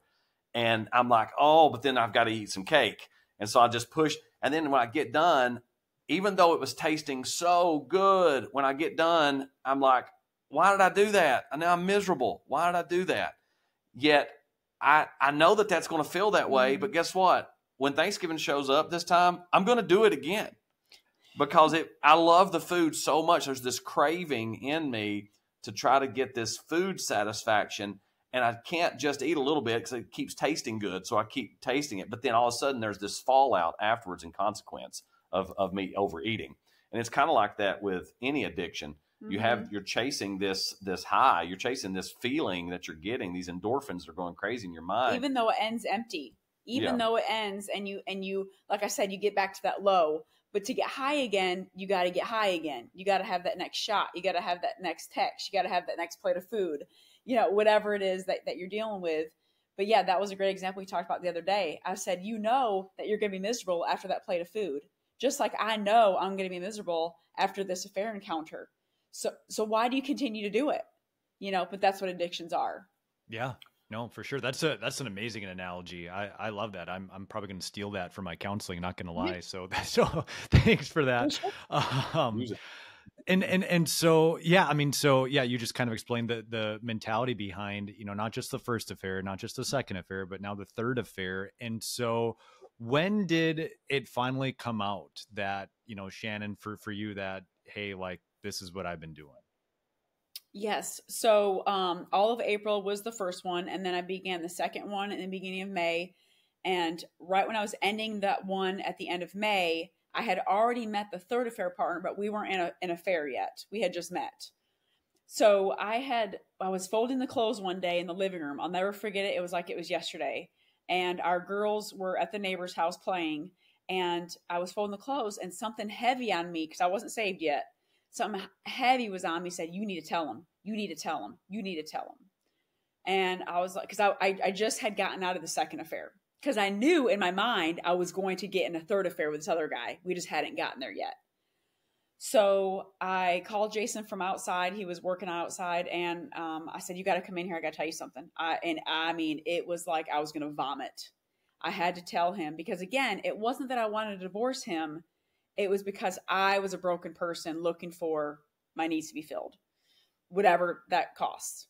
So I bring him in and I tell him, and it was just pieces and parts. Oh, we just hugged. Oh, we just kissed. Oh, you know, it was just a text or whatever. And so I felt better because I got off my chest and I told him at least a little bit, you know. But then as it went on, oh, there wasn't just one guy, there was two guys you know, and so and he knew both of these guys. This came out over additional weeks and months. Yeah, yeah, it was over a, a time, and of course over uh, six months, it all came out, everything. But this was just the first few weeks of the first two affairs. So as I'm telling him now that he knows this, um, as I, as we're working through this, beginning of June, middle of June, end of June, we go to on vacation together as a family. Then I end up being in the third affair when he thinks I'm done. But he did not realize I was in the third affair. So I, I ended that third affair at the end of June because people think, oh, that must have been fun. You had your fun with those guys and all that. It's hell. It's living hell on earth because you're being tortured. You're being tortured, especially when you love your spouse and you don't want to divorce them and you love your children. Um, it's not like I just want to divorce him and go live this life of freedom. That's not what it's. It was total hell on earth because the enemy literally torture, tortures your mind and saying, "Don't tell him, don't, don't tell him," because then you got get out of it. Well, if I get out of it, that means I don't get that attention from those guys. And if I get out of it and I tell him, now I got to live with the consequences of my actions, and we're going to fight all the time. So now we're right back to where we started 12 years ago of fighting all the time, you know. And so it was just this vicious cycle that the enemy doesn't tell you when you get into it. It's all these false all these false promises, these false hopes, these false things that are they're not true. It's all lies. So uh, we always tell people, you know, the grass looks green on the other side because there's manure below that grass because it's full of crap. You yeah, know, you need good. to water and maintain and work on your own grass and stop looking at the neighbor's grass. Yeah, yeah. Jason, Jason, for you, what was that like when Shannon opened up about the affairs? What was going through your mind? How did you handle that?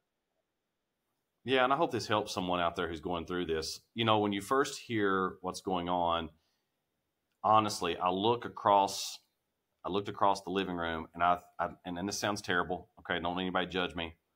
But I just thought, who is this person across from me? I mean, like I didn't even know who they were. Like, it, I mean, I looked at Shannon. I was thinking, this is a monster. Like, I mean, honestly, I was like, what is going yeah. on? This is everything that had happened from the day we got married in 2002 until now felt like a lie. It felt like everything, all the times you told me you love me, all the things we've done, all the memories we made were just lies. And as it came out in pieces and parts, and that's one thing we tell couples now when we're mentoring them, we know it's difficult. We know it's so mm-hmm. difficult to to confess yep. this kind of stuff to your spouse. But by Shannon going through this and trying to tell me, yes, I'm grateful she tried to tell me, but it, because it came out in pieces and parts and it was lies that precipitated lies and so forth, and it was just a constant lie, and I was struggling to get things out of her and trying to coerce her into telling me all the rest of the pieces, then she'd, that's everything, that's everything. She'd tell me, that's everything. And then more would come out. Well, that's everything. And then there was more that come out.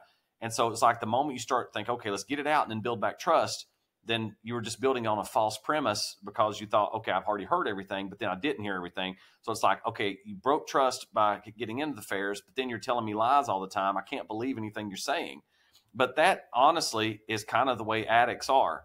People who have an mm-hmm. addiction, who have infidelity or whether it's drugs or anything, it's and we've all seen those intervention shows of the drug drug people. But when you have that, it's it's always lies because it's about self preservation. Mm-hmm and so when someone says, "Hey, I, I'm already caught, but I can't tell all of that, so I'm just gonna I'm gonna lie to try to get out of the rest of this," um, but ultimately over time, it created a longer time frame for us for our restoration because it took Shannon much longer to continue to build back trust. So we say trust is lost in buckets and they're earned in drops. So you can, you know, all those attaboys go right down the drain with an old crap, right? And so the moment that she did this and made this this terrible situation, you know, as far as the infidelity part, all the trust that had been built over 12 years was gone uh, in, in, just one fell swoop here. So as she's telling me these these things, and I'm watching it come out in pieces and parts, then all of my insecurities growing up about being redheaded and girls not liking me because they didn't want to date Opie Taylor, and, and you know, which was my what people called me uh, when I was early on. All that came back to life. Like I am, I am the ugly duckling that that I've always thought I was because now I can't you're going somewhere else to get things. And so the person that in, in my position, um, we we take it internally, we internalize this, and we look at it from a standpoint of um, I'm not good enough. It's something wrong with me, and it's embarrassing. It was embarrassing to me. I didn't tell anybody for for a long time, um, but as she begins to start telling me all these things, um, she says, "Hey, I, I did these," and, and this is, and hear me out here. That she would say, well, you weren't walking with me. You weren't doing these things. You were work was too, and all that was true. All of those things she said, 100% of all the things she said was true. Okay. She would say, you treat me like a paycheck and a piece of meat. All of that was true. And, but here's, here's the piece that kind of, no one can tell us a sin that doesn't have a selfish motive behind it or a justification. Even when Eve ate from the, uh, the tree of the uh, good and evil, she did that because the enemy told her it's because God don't want you to know. There was a justification there. I'm going to do this because. And so whenever someone falls short, and I was falling short, the enemy tells Shannon he's falling short, so therefore go over here and get this, right? And then things, opportunities are presented to him. And we tell everybody enemy don't show up to your door with a horn and pitchforks. Okay, he shows up as an angel of light. I'm going to fix all your problems. And so you just go, whoa, that looks good, and then you go after it. But what we try to tell people is later, and this is the beautiful part here, part of the, I mean, the whole story is beautiful in the end, but during that summer, when she told me all these things, you're not taking me on vacation, you're not allowing me to stop teaching. She wanted to quit teaching. She was miserable, and I wouldn't let her quit. Um, and so everything she ever wanted, she got that summer. She got to quit teaching. She got a gym so she could do personal training. She got a new car. We went on vacation. I cooked dinner for her all of these things that we were going to that that I wasn't doing, I became super dad, super husband, and I did them. When you fast forward past that summer, um, on October the first, two thousand fourteen, she had this craving in her to talk to this third affair partner. I didn't know there was a third affair partner during this whole time. We've been going to marriage counseling. We've been going, you know, back at church and all this kind of thing. And so on October the 1st, she went to our neighbor's house she knew I was monitoring the phone records. She went to the neighbor's house, got on their phone, called him, and then goes and meets him at the mall parking lot while I was at work. And the moment she got out of his vehicle back into her vehicle and she had, you know, they had done their thing, she said, and I'll let her tell this story better than me, but she said that she felt like God was going to take her life. She said at that moment it was so heavy on her that this was no longer about Jason. This was about her and her her relationship with God. God wasn't going to let her continue to do this. And so I think if you want to speak a little life into that. Yeah. Um, so so I went so my first was April and then May and then June. So end of June, I stopped talking all three of them. I thought, I'm going to do this. I'm going to take care of this. I'm going to get out of this. You know, if God's not going to get me out, I'll get it out myself. Okay. So, um, uh, July goes by, August goes by, September goes by. Um, the third one would reach out every once in a while. Hey, how are you doing? I miss your beautiful face. You know, but I didn't talk to him. I didn't see him. I was like, whatever, you know, just kind of, I'm like, I'm trying to do this on my own. Just stay away, you know. So for some reason, October 1st, 2014. I have no idea why. Um, I just had to see him, like Jason said. And so we met up. We we had our, our last encounter together, and I got out of his truck and got in my car. And for the first time in this whole process, um, I just sat in my car and I wasn't thinking about Jason. And it sounds terrible, but I wasn't thinking about Jason. I wasn't thinking about my girls. I wasn't thinking about anything but God because I felt this heaviness on me. Like I thought I was going to choke to death. I thought I was about to die right there in my car. And so I just put my head on the steering wheel and just banged on it and said, God, get me out of this. Get me out of this. I can't do this anymore. I mean, I'm talking miserable, hell on earth, tortured. So I leave, go get the girls from school. We end up going to church that night. Um, like we've been, we've been going to church ever since March of 2013, um, continuously going to church. And so I knew the Lord in this year, because it's funny how it was exactly a year that he had been working on our family and how the enemy was just trying to get us, trying to get us, trying to get us. And so went to church that night, came home, and the next day we were going to um, Madisonville, Tennessee to look at a piece of equipment that Jason was going to use to develop some property. So it was um, me and Jason and his parents. Jason took the day off of work and um, we drove over there. And so um, I was in the front seat of my car. His mom was in the back seat of the car, and him and his dad were looking at this piece of equipment in Madisonville, Tennessee. And of course, his mom's a real good, you know, preacher's wife, woman of God, very spiritual, very, very sweet, very kind, very loving. And she had no idea, obviously, what had been going on for the past six months with us. And so we're right, yeah. Yeah, I hadn't told them nothing. Yeah, they didn't know anything. And so um, I just asked her, I was like, what I mean, I was done. Like I was done, done with myself. Whether it be you know blowing my brains out, whether it be overdosing on pills, I was done with this life, and I had to get out of it however way I could.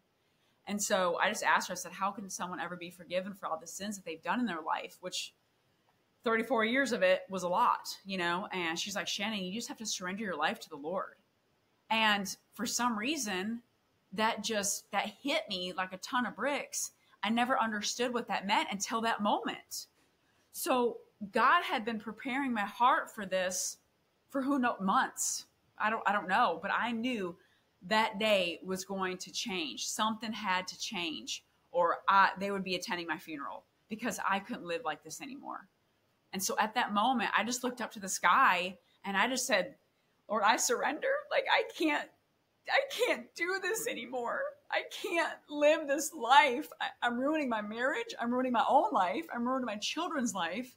I don't want my children to grow up and be in a divorce home. I've got to do something. And we pulled out of that driveway, and all of a sudden, like the sun was shining brighter, the grass was greener. I felt the weight of the world, like where I was choking the day before. I could breathe for the first time in 34 years. Like I just saw my life completely change in front of my eyes. But it's funny because at this moment, I still didn't understand what happened. You know what I mean? I just knew that my life changed instantly, like a snap of a fingers. I just knew. And the weight of the world was off my shoulders. And I felt like the chains and the hard heart around my heart had just fell, just instantly fell. And I didn't understand why. And so we got home that day and backstory, we had um, ordered a book when godly people do ungodly things from Beth Moore. So let me add something right here to this. Yeah, it's a so cool we, story. We had been in marriage counseling with a Christian counselor, and during this time, it was I mean it was very volatile. I mean extremely extremely volatile. Um, somebody's coming. Oh, it's Nano. Um, it was extremely a volatile time. Um, why don't you go when they come in? Tell them. Okay. Um, and so we were going to Christian counseling, um, and the Christian counselor was pulling a lot of things out of Shannon. And boy, that was just that was torturous watching my wife literally lay in the floor at this counseling session and curled up in the fetal position. Um, it was unbelievable. I mean, the thing because she had suppressed some of this abuse down so far that the counselor was bringing this back. But anyway, the counselor told her that you need to get this book called uh, "When Godly People Do Ungodly Things" by Beth Moore, and Shannon was extremely resistant to it because I wasn't ready to get out of the affairs. No, she I was wasn't still- ready to change. she was still in the affairs. So I left there. Of course, we argued a lot after every session on the way home. I mean, when I say argue, I'm being nice. It was knock down, drag out, you know, Yeah. proverbially. So I go ahead and order the book on Amazon, and then a few days later, or a day or two later, we're down in Madisonville, and God ordains that Shannon gets saved, unbeknownst to her, and when we get back home that day, I had no knowledge of any of this going on. I didn't know my mom had talked to her. My mom and dad had no clue what was going on. We pull in the driveway immediately, two hours after she just met with with my mom, and when we pull in the driveway, the book is leaning against our door. And it was, and she read the entire thing that in night. one night, I couldn't put it down. Wow. I couldn't put it down. And so reading that book, I realized I said, I got saved today. Like that's what happened today. I got saved, but because it's not like someone told me. But now, when you get saved, the grass is greener, the sun is brighter, you feel the weight of the world lifted off your shoulders. I, I didn't know any of this because remember, I wasn't raised in a Christian home, so this was all foreign to me. I just remember the freedom. That's the best word I can come up with. The freedom I felt that day was like anything I've ever felt before. Nothing. And so when I was reading that book, and it was just literally reading my mail of what I had been living through all these years, and I was like, I got saved today. That's what happened today. And so from then on, it's like that book, of course, the Lord putting it in my life, but that book changed my life because it made me realize that I'm not the only one that's ever gone through this. You're not the only one that's gone through your struggles because the enemy lies and tells you you're alone. You're the only one in the whole wide world that's ever done this. You're the worst person in the world and you're going to be the only one in hell. You know, and it's it's lies.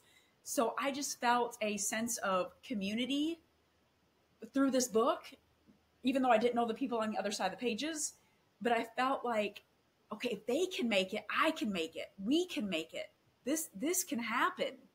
Um, but it takes a very long road of healing in order for it to happen. What you see today is not what we were nine years ago. The Lord's done a miraculous work in our life, So, but we've had to be open about Yeah. it and receptive to change. so for the sake of time, and I know we'll fast Right. forward here. So that was October the second. Um, I, we continued to go to marriage counseling. Fast forward until December the thirty first, two thousand fourteen. We were had bought a commercial building. We were working on remodeling it. I was up on a ladder, and something just hit me. Something just said, "Ask her if she ever did anything with this person." You know. So I named the person, and she says, "You need to. We need to talk." And I'm thinking, oh my gosh, you got saved October the 2nd, and now this is December the 31st, and I'm continuing since June to learn about more and more and more and more.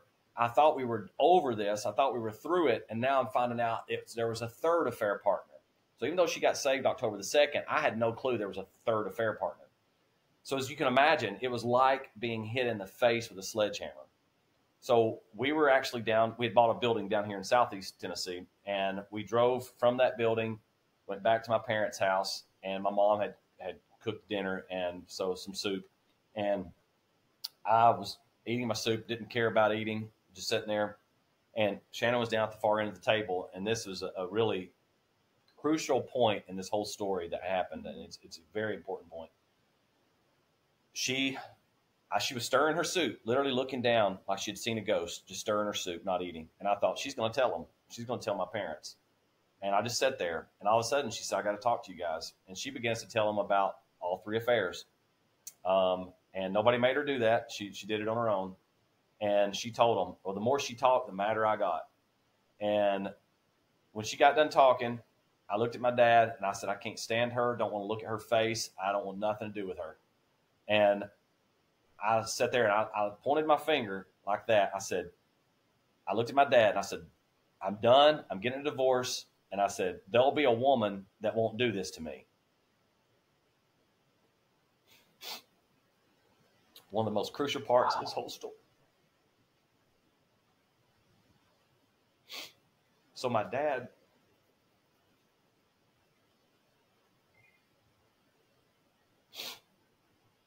my dad had every option opportunity to get on my side as his son and just hammer Shannon.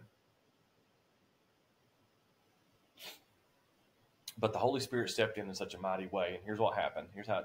Here's the, the, the vernacular or the or the trans what's transpired.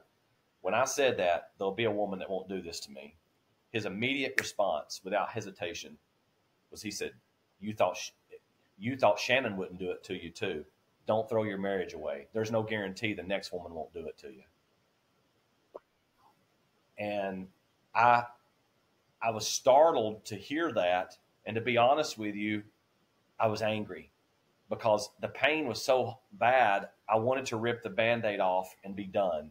I couldn't stand anymore. I've been dealing with this for six months. But the moment he said that, and I, you know, I trust my dad. You know, he's never led me wrong. I trust my dad.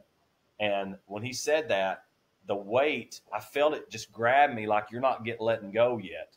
And I wanted to let go. So there was this, ter- just this tugging in there, this spiritual s- struggle of do I stay, do I leave? So that was a very big turning point. Hearing him say that, if he would have said, "Yeah, I think you need to get divorced," we probably wouldn't be sitting here today because his opinion weighed heavily in some of my decisions. Well, let me interject here too to say on my side of it and what I was going through at the time, I knew okay, I had told him about the first two, and he even though I was done with the third, I haven't had anything to do with the third in months.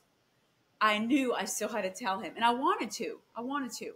So after I got saved, I prayed every day. I said, Lord, please open the opportunity for me to tell him about the third. Whenever whenever you feel it's right for me to tell him, I will tell him. If he asks me, I will tell him because I had you got to realize we this is months and months of pain and crying and fighting and I thought if I put any more on this man, he's going to explode. And so I just knew, Lord, in your timing, I'm going to tell him. And I promise you, if you open up this opportunity, I will tell him. And so I just prayed about that. And I knew that the Lord's timing was perfect on this because I feel if I would have told him on October 2nd, even though I just got saved, of course, he probably thinks, yeah, sure, you got saved. You just had a third fair that you didn't tell me about. You see what I'm saying? But I think time had to go by for Jason to see the true transformation that the Lord had done in my life so he could accept this information. Though it was difficult and though he almost divorced me, I think he had to see the transformation for a period of time before he could handle this next truth bomb, if that makes sense. Because it the timing was perfect. And it was like it it was like we started 2015 fresh because it all happened in 2014 we let it all out in 2014. Yeah. Because that was on New Year's Eve.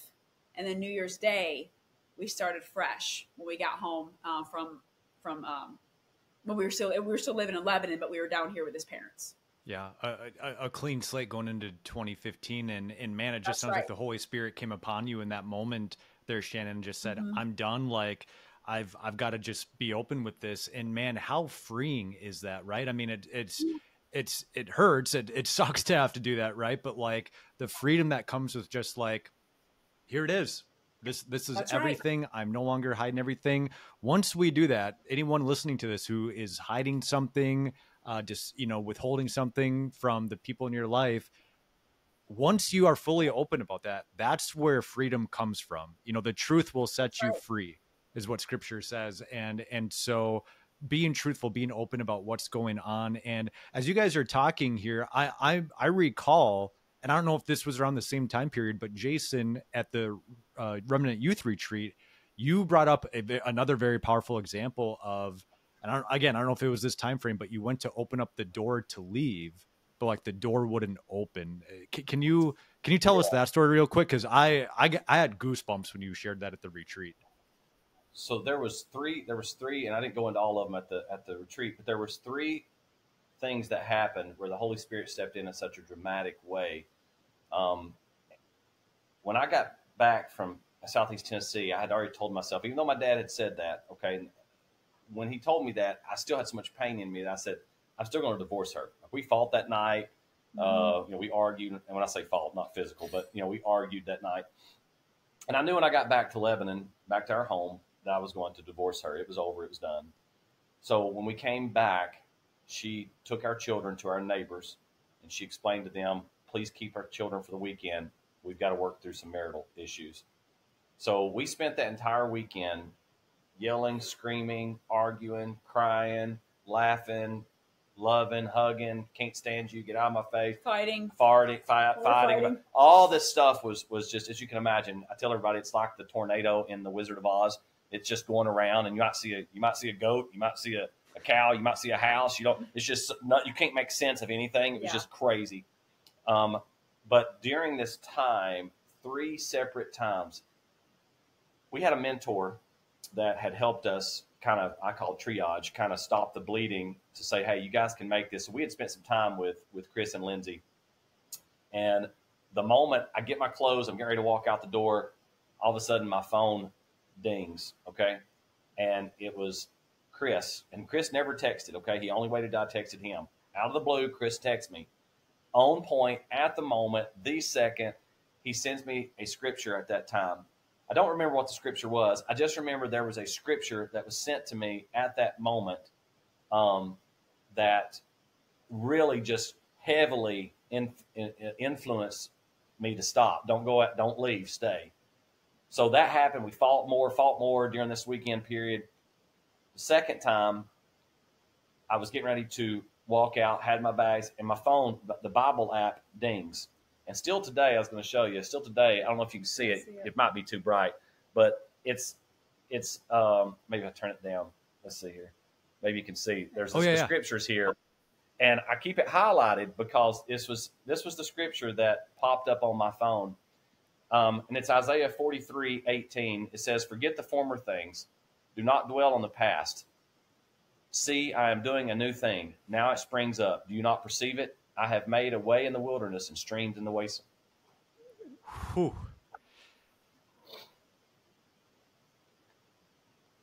And that when that popped up, it was like I started seeing that this was not this was not just by coincidence. It was God stepping in. So I read that again. I didn't leave. I stayed. And then I'm sitting there and we, we continue to fight. And so the final time when God finally got my attention, I packed my bags, and this is the part you heard. I packed my bags and I'm going out. She's she's in the living room squalling. She's crying, just blood curdling screams. Don't leave me, don't leave me. She's crying. I grab my keys and I go to walk out the door. And when I grabbed the door to open it, it was unlocked. I grabbed the door to open it and I pulled on it. The door didn't open. And I thought, why, man, the door's caught and I grab it and I pull the door handle down. It's one of those handles that goes down, and I pull it down and I can see the thing in there open it, and and I jerk on the door, and it was a French door, and the door was just doing this. I thought I was going to jerk it off the hinges, as you can imagine my anger, and I'm pulling the door and I'm jerking the door, and it was like the Lord put His hands on my shoulders and said, "Sit down."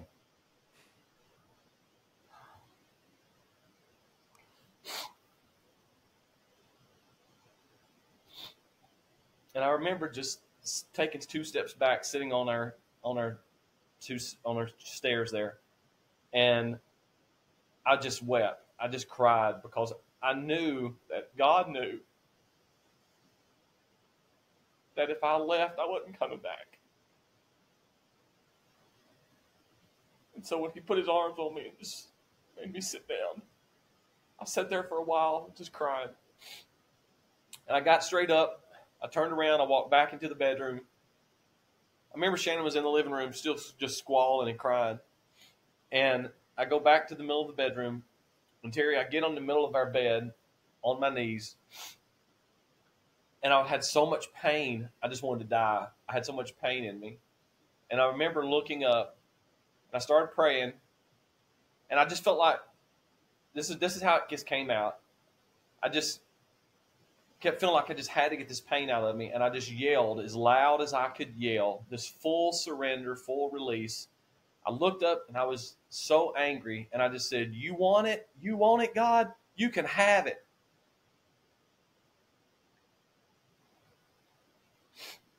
And that moment was this release to where I really felt like really felt like I was in the arms of God. Like he just took that from me. And ever since that day, I'm not going to be all spiritual and say that that it's been perfect. It's been this perfect, you know, slide scale. Everything's been great. No, it's been a roller coaster. Okay, but the things that have happened in our lives, and I'll just give you a couple just crazy ones. So we put our house on the market. The very first person that looks at our house buys our house over ask price. We put our house back on, on the market in 2015. We moved down here. Um, we spent a year without a job, and I know somebody's well, that was that was an amazing thing. It was an amazing thing because we had zero income, and we never missed a payment. We never missed anything. We spent time together restoring our marriage. For an entire year, we didn't work, and we just stayed together and worked through this. Cried a lot, got therapy, got help, got plugged into our local church here in our town. From there, it has taken off. I'll add this little slight caveat. When I was a young man, we were in church and my grandmother prophesied, and it was me and my cousin that was there. And the way the prophecy came out, and this is when I was a young teenager, my grandmother said that one of those two, one of my two son, grandsons here, will end up being in the ministry, will be a will be a minister before he's 40. And so my other cousin is not a minister, and I was turning 40 when we started at this church. Okay, I was 39 when I started back at this church. We end up starting a couples class at this church on Lee University's campus. We started a couples class, and it grew and grew and grew. And one day I was sitting there in class teaching, and it was like God hit me in the middle of the chest. He said, Do you remember the prophecy? And I was like, But I'm not a pastor. He said, But you're ministering. You're a minister. You're ministering to these couples in need. And I was like, Yeah, but but that was so now I go, oh my gosh. I'm it was before I was 40. And it was unbelievable to understand that we're and, and we don't have seminary degrees.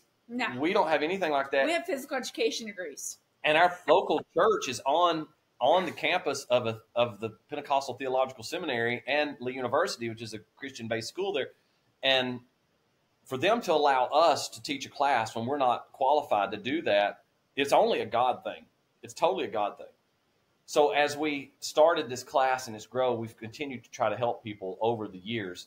Um, I've talked a lot, so go ahead. I'm sorry. Oh, it's okay. No, just the Lord's opened so many doors for us. You know, to speak at conferences, we've counseled or mentored over 300 easily 300 plus couples um, around the world in the past eight years. Um, they did a documentary on our um, local tv station here on our uh, testimony a couple years ago. Um, i've spoken at bryan college telling my testimony.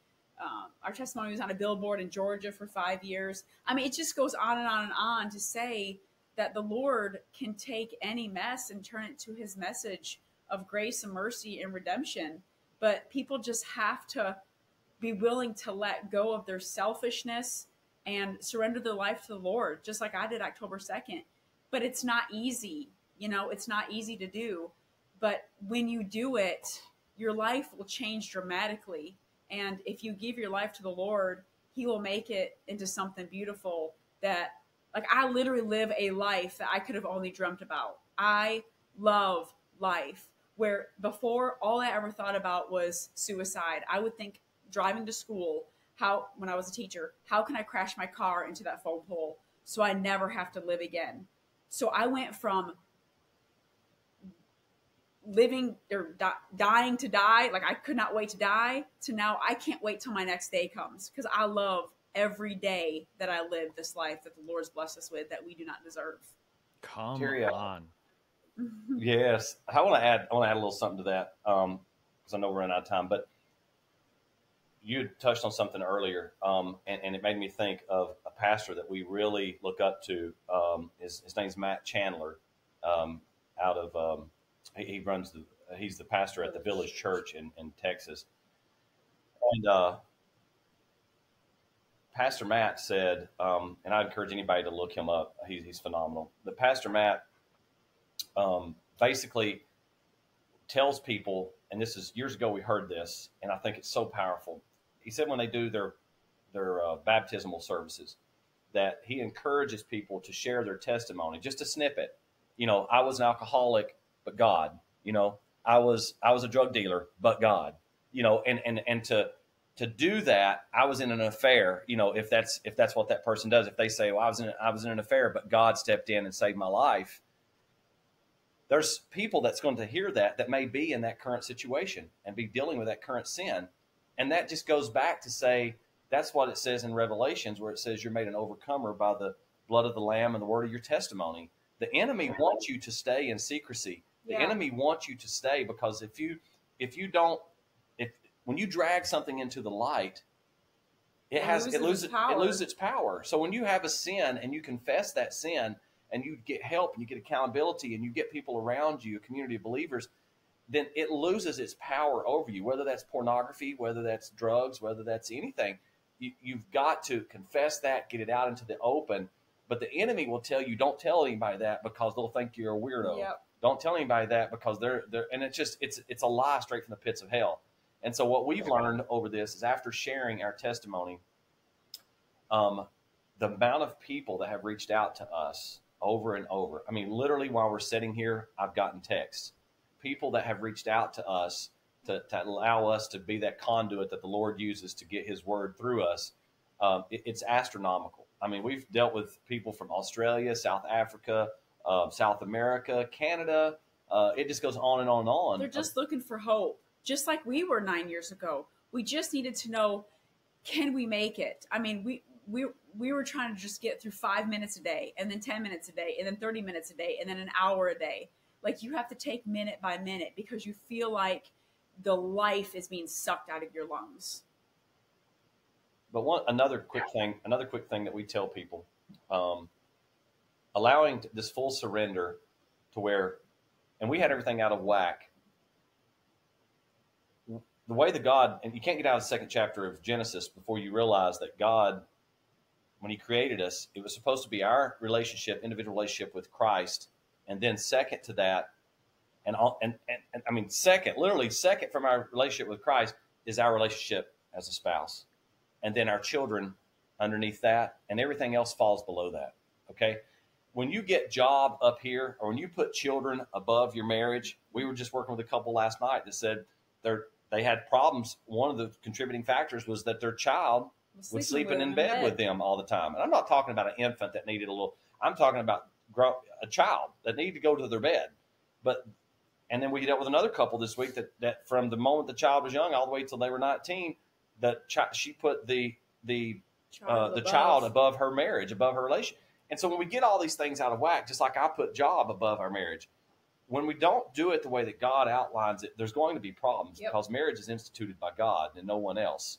And so that, there's just so many things that we try to tell people, and, and, we're just giving you a snippet now. But we would encourage people get plugged into a, a, a local church, someone that has the resources. Um, I'm not knocking little churches. I'm sure there's great small churches out there, but wherever you go, make sure there's resources there for you to have a strong marriage someone there, accountability, Christian. Even it says there's there's, uh, wisdom in a multitude of counselors. Having good Christian um, counselors and, and, and folks around you to, to be a support staff um, helps you be more accountable, helps you grow in your spiritual walk. Um, but seeing our children now thrive is mm-hmm. unbelievable. How we broke yeah. this generational sin. We're not. Our children are not going to carry that into nope. their future. And I think it's a beautiful, beautiful thing, and we're so grateful for what all the Lord's done in our life. And and uh, man, I, I, I've I, I I'm kind of speechless as as you can tell right now. Just I'm overwhelmed at the goodness of God in your guys' story. I mean, there is no reason other than him that you that you guys should be sitting here together talking to me, right? I mean, with everything that we just talked about, this is all because of him. And man, like you said, now your two daughters are gonna grow up um, knowing what a healthy marriage looks like, knowing what the right hierarchy is to have in a marriage. And man, I, I talk about that a lot with my clients too. You know, that hierarchy, it's got to be God, spouse, then children. And things will always go to chaos if that's out of order. And man, um, I haven't met your children, but you know, I follow you guys online and it uh, looks like they're, they're both tremendous young ladies of the Lord, both very gifted musically.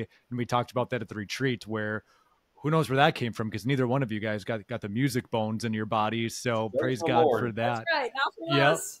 Right. One one question that I had for you guys before we we really wrap this up.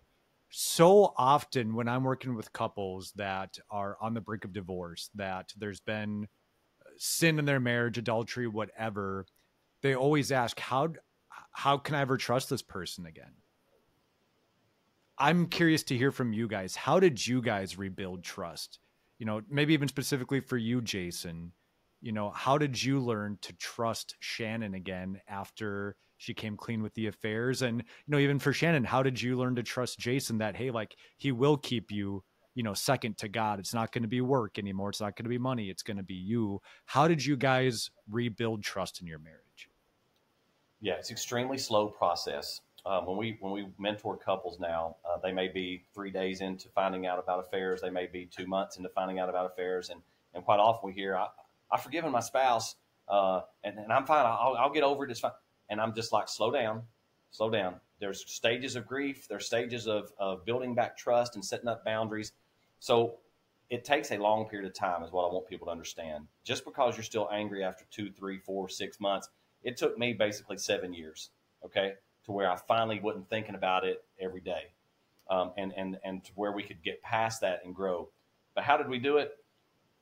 First off, I watched her life. Okay, I saw her life, and I saw the fruit of the spirit in her. I saw the gentleness, the meekness, the kindness. Okay, the self control. I saw all these things. I saw her her language change. I saw her heart change, the gentleness and kindness toward our children, the selflessness that she has, the um, the way that she dresses, the way that she there'll be more maybe days I don't really want to go to church or something, and she's like, no, no, let's go, you know, and and and being that that person carrying that that gauntlet, you know, carrying the torch or whatever for our family, I see that, I watch that grow in her. Okay, so that's that was huge in us starting to build trust. If I would have continued to see the same person, I would have known that there was not a transformative thing that happened in her life. So I saw her walk walk out her faith, um, and so that was hugely helpful. With that being said, because of the trauma and even me being diagnosed with PTSD from this, um, what, and I'm fine now. I'm saying back then when we were first going through, watching watching her do all these things, like I said, from from a spiritual standpoint, um, and then me being diagnosed with the PTSD, um, putting boundaries in place. Okay. We tell all the people that there should be no passwords that the spouse doesn't know. We use Life 360 app on our phone to where we know where everybody's at at all times. We have a standing rule, rule, and this can all be specific to each couple, okay, and their needs and desires. But I have a I have a standing rule. If I call Shannon, answer the phone. I don't care where you're at, answer the phone. I just need to know that she answers the phone. For some reason, it it makes me feel good knowing that she can hear me because there was some trauma and triggers that happened there whenever she would turn her phone off and I couldn't get a hold of her and she was with the affair partner. So we have worked out a system for us to where there are boundaries in place. I never, I'm a realtor, so a lot of bankers want to go out and eat lunch with me because that's how they make their money. I send them clients to, to sell loans to. Um, I get that, I get that opportunity all the time. And we made a rule from the beginning we don't go out and eat with the opposite sex without both of us being there. So if a female wants to go out and eat lunch with me, I will not do it unless my wife's with me. Okay. I don't have to go tell them all of that. I may just have something else to do at the moment because nobody needs to know all that, you know, all that periphery. But basically, if she's going to go somewhere with a guy or something or have to be somewhere with her business, I'm there. Okay. Um, so we have boundaries in place, and there's a good series for your listeners Um, uh, Guardrails by Andy Stanley. Um, and it, guardrails are not there to keep you from doing something, they're there to protect you from something. And so the moment you set these guardrails, um, you may go over and bounce off of them, but you're protected.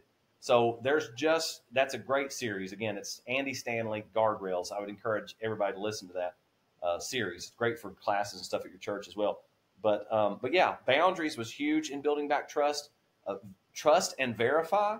So yes, I trust her, but I'm just going to verify. I'm going to check the phone records. Okay, I'm going to make, and then when I find out that there's nothing there, then guess what? I feel better. Okay, and it That's, builds the trust even more and more. Every time he checks it and doesn't see anything, the trust just builds. Yes. So that's a, that's a few quick examples of the way that we have built back trust over time. Um, well, I know for me, um, I know we didn't get into the, even the pornography issue, but after I told him about the affairs and we were trying to clean the slate for 2015, he ended up telling me that he I, I, had a feeling that he had watched pornography for many years, and I asked him and I asked him and I asked him, and for years, for seven years, he lied to me and said, "No, I haven't." Well, then it came out that he was watching pornography, and so that was hard to trust him again. He took his phone in the bathroom. He took his phone, you know, into the bedroom.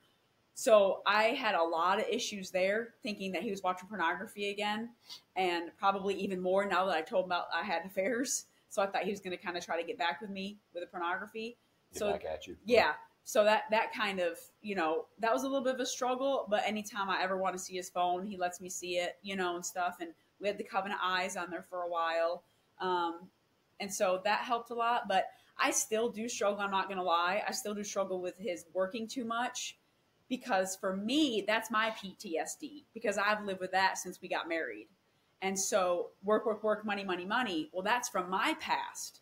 And so that's a struggle for me. And I think it probably will be till the day I die because he is so addicted to work. And so him, I mean, even after we went through all this, he still didn't stop working even when we moved here. He was a real, he is a realtor, but he was really busy real estate and his phone would ring like 200 times a day and still never spend time with me. And so I had a lot of those triggers come up again going up. He still didn't learn. Even after three affairs, he still didn't learn that he's working too much. So that I don't have an answer for because I still struggle with it. Sure. Sure. No, I appreciate the the you know just you guys being candid with that and being real um you know obviously god is all over this but no marriage is is perfect right? And and you know it's that process of sanctification and even the process of healing like that's a daily thing you know? Um sometimes healing is instantaneous you know like you know god will perform a miracle where cancer is gone you know stuff like that. Other times healing is a process that that can only be walked out hand in hand with the lord day by day right? And you guys are a shining example of walking with the Lord. You know, I, I, I, even as we're talking, I just see a picture of you know Jesus in the middle of you guys. Each of you guys has you know holding one of His hand. You guys just walking together. It's it's incredible what what He has done, and I, I'm blown away. Honestly, I am absolutely blown away at your guys' story.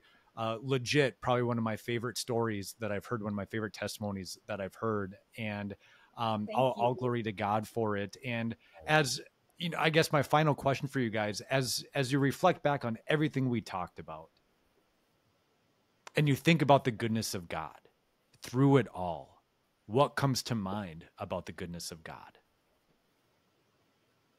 For me, I know this is my situation. Um, the goodness of God is is undeserving, grace and mercy and freedom. Those those are my those are my words and how I take it in my in our situation. What about you? The goodness of God uh, has allowed me to see how messed up that I really am and even was at that time, um, and how we need God so much in every aspect of our life. Because if I didn't have God in me, I don't think I could have been a very good forgiver I don't think I could have offered the grace and mercy. But when God imparts His Holy Spirit in us, it allows us to give grace and mercy. Because I tell everybody, I could easily be caught up in that same situation. I could have been in an affair, and I would I would be begging for grace and mercy. and but we can only typically see it from one side. So just understanding how God's been so good and seeing His faithfulness and how He's blessed us. We own this beautiful farm, and our businesses are growing. And you know, I'm one of the top realtors in Southeast Tennessee, and her she's got this amazing woman-owned, created from the ground up business that's crazy huge here in Southeast Tennessee. And when I see all that, I think from two people who tried their best to mess this up. Yeah. If that's not the goodness of God and His grace and mercy in our life, it's it's unbelievable just to see what all He's done in our life. We're so I tell our so girls all the time. Our girls are very accomplished musicians, um, and without going into all of that, sometimes you know they're teenagers and they're literally phenomenal. Um, matter of fact, our our daughter who's twelve, um, uh, just just turned thirteen. She is our, our musician at our she is our drummer at our church. And our church has over a thousand people in it. And it's on a on a university campus. And she's 13 and she's the full-time drummer. And just seeing how god has just done things in her life and in our other daughter's life when i hear them sometimes and i love this because i feel like god really puts this on my heart and i see it now i see it like when god placed placed um, mantles on people and, and, and, and blessed families in the, in the scripture.